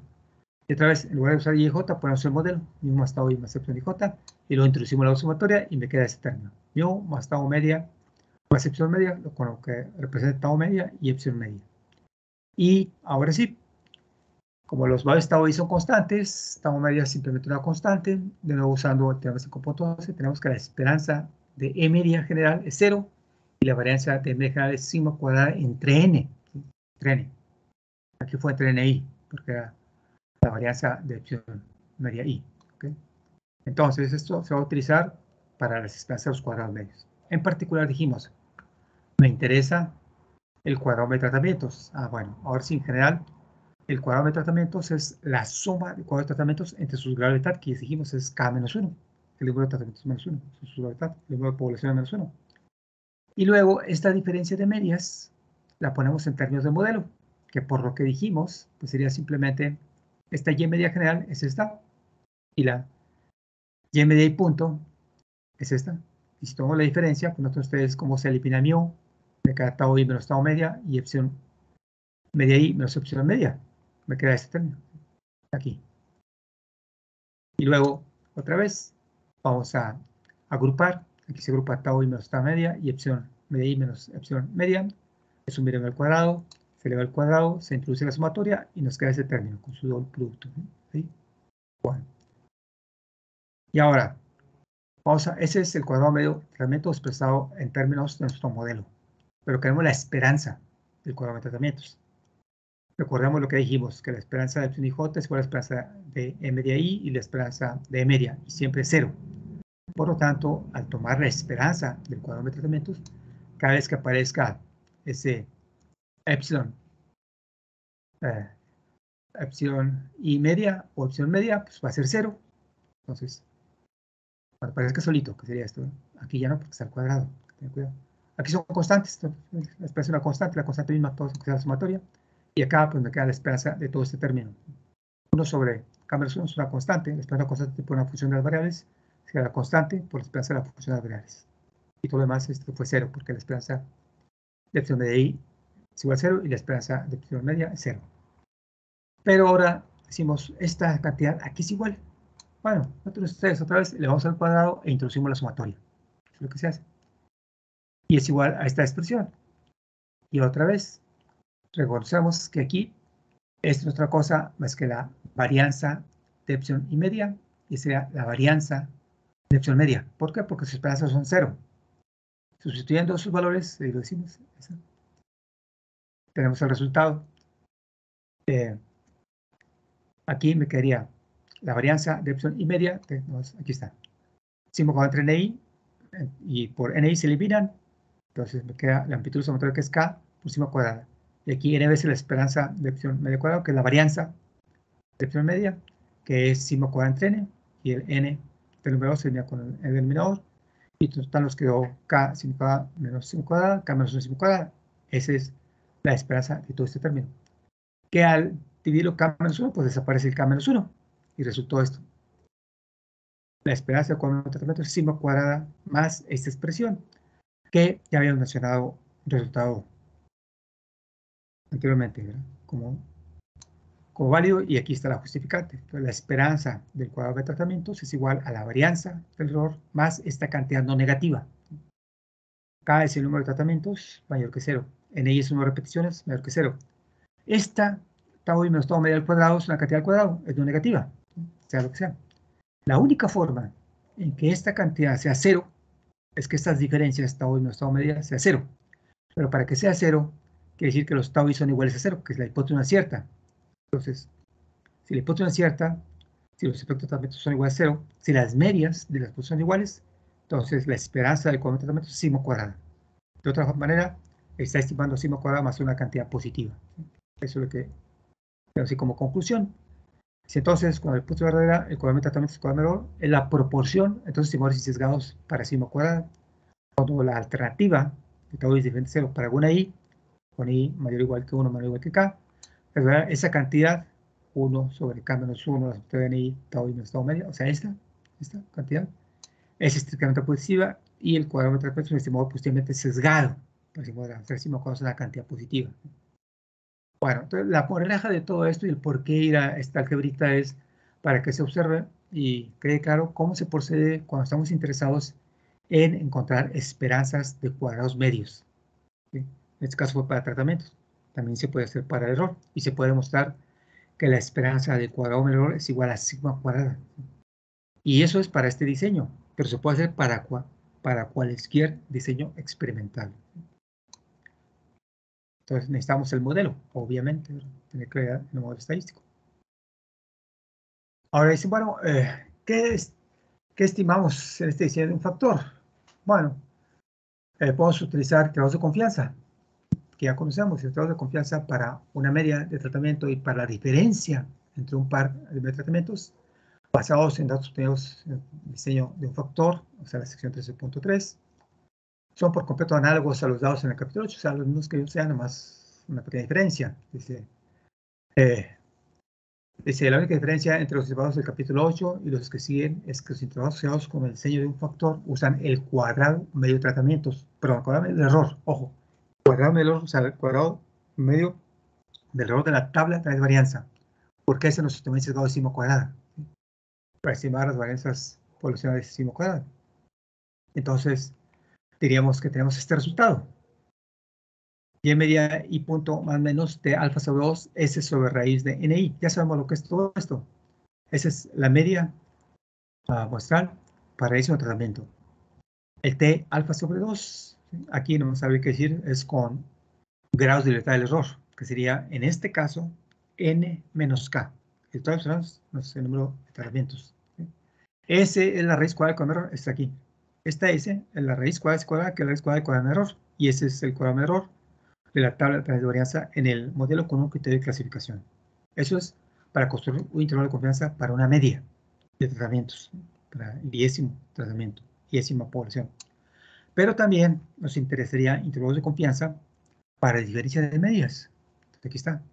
Y en media I, punto más media I, punto. Si yo quiero un intervalo de confianza para la diferencia de la media i y la media i, y prima con i diferente de i prima, pues ese sería el resultado. La estimación puntual, más menos esta cantidad, otra vez el t alfa sobre 2 con n menos k gravital, la raíz cuadrada del cuadrado de error, multiplicado por la raíz cuadrada de 1 entre ni más 1 entre ni prima. Esto es en general, permitiendo que ni sea diferente de ni prima. Y aquí lo que decíamos, el t alfa sobre 2 está basado en n menos k grados de libertad. Ok. Un ejemplito de esto, pues aquí está. Encuentro intervalo de confianza para la calificación media, la técnica de enseñanza 1 del ejemplo 13.2. Intervalo de confianza para la calificación media es, y bueno, tenemos nosotros eh, método de enseñanza 1, tratamiento 1, media 1, más, mes, más menos t, 425 es alfa sobre 2, será 0.52, 0.25. La raíz cuadrada del error entre la raíz de n, 1. En este caso, si lo recordamos, n menos k, los de error son 19. n menos k 19. Y si vamos a la tabla con punto 25, el valor de la distribución de student condición de gravedad que mejora ese h de 0.25 es 2.93. El cuadrado del error, en este ejemplo, pues, es el 3, su raíz cuadrada, entre el número de repeticiones que tenemos, es 6, raíz de 6. Y total es 6.78, límite de estimación. Es la cantidad que le vamos a sumar y restar para construir nuestro intervalo de 95% de confianza para la media del tratamiento 1. sería? Uh, se observa que si hubiéramos analizado solo los datos para en 1, el valor de, de alfa sobre 2 hubiera, o hubiera estado basado en solo n1 menos 1, en 6 eh, menos 1, 5 grados de libertad. Pero en este caso, pues no, ¿verdad? Estamos en 19. Claro, esto es bajo el supuesto de que hay homogeneidad de varianzas. Todo eso. Y por eso estamos en cuadro. Es para una media. ¿Qué pasa si queremos para una diferencia de medias? Pues también es muy simple. Encuentro un intervalo de confianza del 90% para la diferencia de la calificación media para la enseñanza 1 y 4. La diferencia entre mi sub 1 y mi sub 4, pues una vez más, la estimación puntual sería y media 1 punto menos y media 4 punto, más o menos el t. Este es el mismo, no cambia porque no cambia los gravedad, no cambia el nivel de significancia. 2 por 3. La raíz cuadrada del cuadrado medio del error. Este raíz cuadrada de 63, 7.24, raíz cuadrada 1 entre 1 más 1 entre 4, que sería 4. Las operaciones ya tenemos nuestro límite inferior, menos 22.71, nuestro límite superior, menos 1.35. A nivel de confianza del 95%, concluimos que la media 4 es mayor que la media 1, por al menos 1.35, pero no más de 22.81. Y observamos pues que este intervalo no contiene el 0. Por eso que podemos afirmar que la media 4 es mayor que la media 1, por 95% de confianza. ¿sí? voy a inventar, supongamos que al construir intervalo de confianza, para mi sub 1 menos 4, nuestro intervalo contiene el 0. O sea, no se podría rechazar la oportunidad que ambas medias son iguales. Es que contiene el 0 mi intervalo de confianza. Pero aquí no, no lo contiene. Entonces podemos afirmar, como digo, que la media 4 es mayor que la media 1. ¿Qué tanto mayor? Pues que 1.35, pero no más que 22.81. Es parte de la interpretación de la construcción de sistemas de confianza. Uh, y los ejemplos. El siguiente sería el modelo estadístico para diseño de bloques completos aleatorizados. Uh, aquí ahora el enfoque que siguen los autores es decir, bueno, vamos a poner nuestro modelo estadístico, considerando que va a haber B bloques y aparte que tenemos interés en comparar K tratamientos, pero además que son eh, bloques completos, o sea que cada tratamiento aparece una y solo una vez en cada bloque. El total de observaciones es K por B. N, aquí está. N es K por B. Así es. bloques completos actualizados, una observación por bloque, y este es nuestro modelo. La idea detrás de todo esto es reconocer que independientemente del diseño experimental que estén ustedes utilizando, tendrá su modelo estadístico y habrá que analizarlo. En este caso, lo que estamos diciendo con un diseño de bloques completos es que lo que se está observando, la variable de IJ, se puede expresar como la suma de varios componentes. Es un modelo que se llama modelo aditivo. Una media general más un efecto del tratamiento, en este I, más un efecto del bloque, beta J, más un error experimental asociado a esa observación. Epsilon y J, aquí lo dice. Y J es la asociación al tratamiento I en el bloque J. Mu es la media general. Tau I es el efecto no aleatorio, ojo. Y, es, ellos enfatizan esto de efecto no aleatorio porque habrá más adelante ustedes van a, reconocer en econometría que a veces aparecerán efectos aleatorios y a veces efectos no aleatorios. Bueno, en este momento estamos considerando efectos no aleatorios. El tratamiento I donde está la restricción que la sumatoria de tau es igual a cero. Beta J también es un efecto no aleatorio, es un modelo que se llama de efectos fijos. Y donde la sumatoria de beta J con J esta vez es cero. Y epsilon y J es el término de error, que tenemos que tener eh, algunos supuestos distribucionales. Bueno, otra vez, ¿qué se, qué se supone que se estudia normalmente? ¿Con qué media cero? Y con qué varianza sigma cuadrada. Inicialmente esto es lo más elemental todas eh, las esperanzas de los j es cero y todas las varianzas son las mismas, 5 cuadrado. Es homogénea de varianzas. Claro que ustedes se van a enfrentar situaciones donde eso no se cumple exactamente y habrá otro análisis, sobre todo si hay evidencia de que hay heterogeneidad de varianzas. Pero por lo pronto, con este modelo, así es. Lo relevante de esto es que ese es el modelo estadístico para un diseño de bloques completos aleatorizados. Aquí lo que decía, modelo de efectos fijos y aparece otro modelo de vectores, pero por lo pronto, modelo de efectos fijos.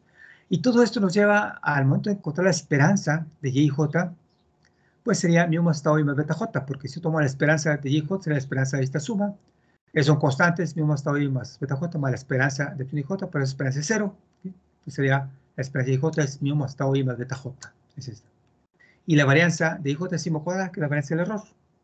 Entonces, ya una vez que ya damos uh, las propiedades que tiene nuestro error y los términos del modelo, ya sabemos qué propiedades tiene nuestra variable de respuesta, la Y J. Y luego lo que estamos diciendo al tomar diferencias, por ejemplo, en este caso, ¿qué pasa si, noten ustedes, me sitúo en el iésimo tratamiento, pero en dos bloques, en bloque 1 y bloque 2. Pues y y j menos y, perdón, y y 1 menos y1, 2 y su esperanza, las esperanzas, nada más coloco lo que sería en términos de mi modelo, esta esperanza, mu más tau i más beta 1, y la segunda esperanza, mu más tau i más beta 2, ya observar aquí, tener mu menos mu se elimina, tau i más tau tau se elimina, beta 1 menos beta 2 es eso. O sea, la diferencia de observaciones del mismo tratamiento elísimo en bloques diferentes nos da efectos de esos dos bloques diferentes. Beta 1 menos beta 2. ¿Qué pasa si ahora tenemos en el mismo bloque, pero dos tratamientos diferentes? Y aquí lo hacen para el iésimo y el I', suponiendo que el I es diferente de I'. Y tomo la esperanza de diferencia otra vez Aquí hay que recurrir a nuestro modelo. La esperanza de IJ es igual a mu más tau y más beta j. La esperanza de I prima j, de acuerdo a mi modelo, sería mu más tau y prima más beta j. Y otra vez, que me queda mu menos mu se elimina. Tau y menos tau y prima no se puede eliminar. Beta j menos beta j se elimina. Entonces, esa diferencia es la diferencia de efectos de los ambos tratamientos, el I y el I. Y si yo tomo dos observaciones que provienen de diferentes tratamientos, el I y el I', y de diferentes bloques, el J y el J', la esperanza de esas diferencias va a dar una suma de los efectos de la diferencia de tratamientos y de bloques. Esto es para que se observe las consecuencias, a las que tenemos de haber eh, considerado este como nuestro modelo correcto para nuestro modelo estadístico y analizarlo.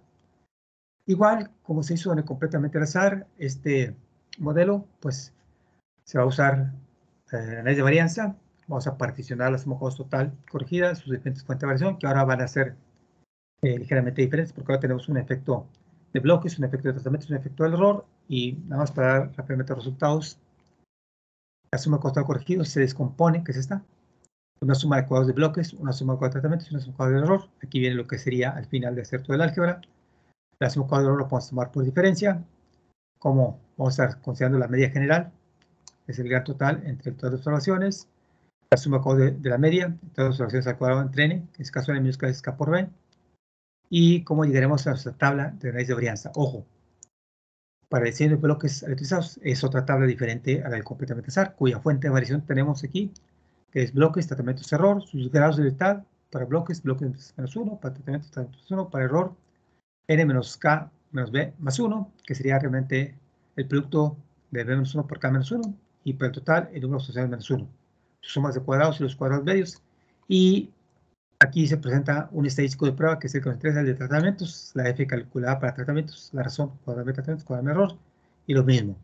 Vamos a rechazar la oportunidad si la f calculada es grande, que es grande, pues mayor que la F tabulada, o una significancia con V, un gravedad del numerador, que es K menos 1, y V2 gravedad del denominador, que son la gravedad del error, que sería N menos B menos K más 1. Bueno, igual podemos eh, también considerar, ocasión se hace, una F calculada para bloques, razón, cuadrado de bloques, cuadrado de error, y lo mismo, nada más que el numerador de la gravedad del, F cambia, será P menos 1, en el denominador tenemos los mismos, gravedad del error y luego se presenta un pequeño ejemplo numérico. Pero bueno, creo que es eh, buen momento para suspender la sesión. Aunque bueno, lo que viene es muy relacionado con lo que estamos viendo y un enfoque para determinar tamaños de muestra. Un enfoque nada más, no, es, no está completo. ¿Cómo podemos proceder cuando creamos intervalos de confianza simultáneos? Una pequeña corrección por ahí de un running, que es muy simple de utilizar, muy común. Y luego relacionar estos modelos de varianza con los modelos de regresión lineal múltiple utilizando variables de engaño. Y vamos a ver que no correspondencia 1-1 de todo lo que vimos de regresión lineal múltiple con matrices se puede aplicar a estas situaciones, considerando la técnica de modelo completo y modelo reducido. Entonces, eh, mi exhortación es eh, que terminen de leer este, este, material del capítulo 13 para rápidamente dar algunos ejemplos y ejercicios adicionales en la próxima sesión, terminarlo y avanzar un poco sobre el material de los siguientes capítulos. No sé si, si hasta este momento tengan alguna pregunta o alguna duda.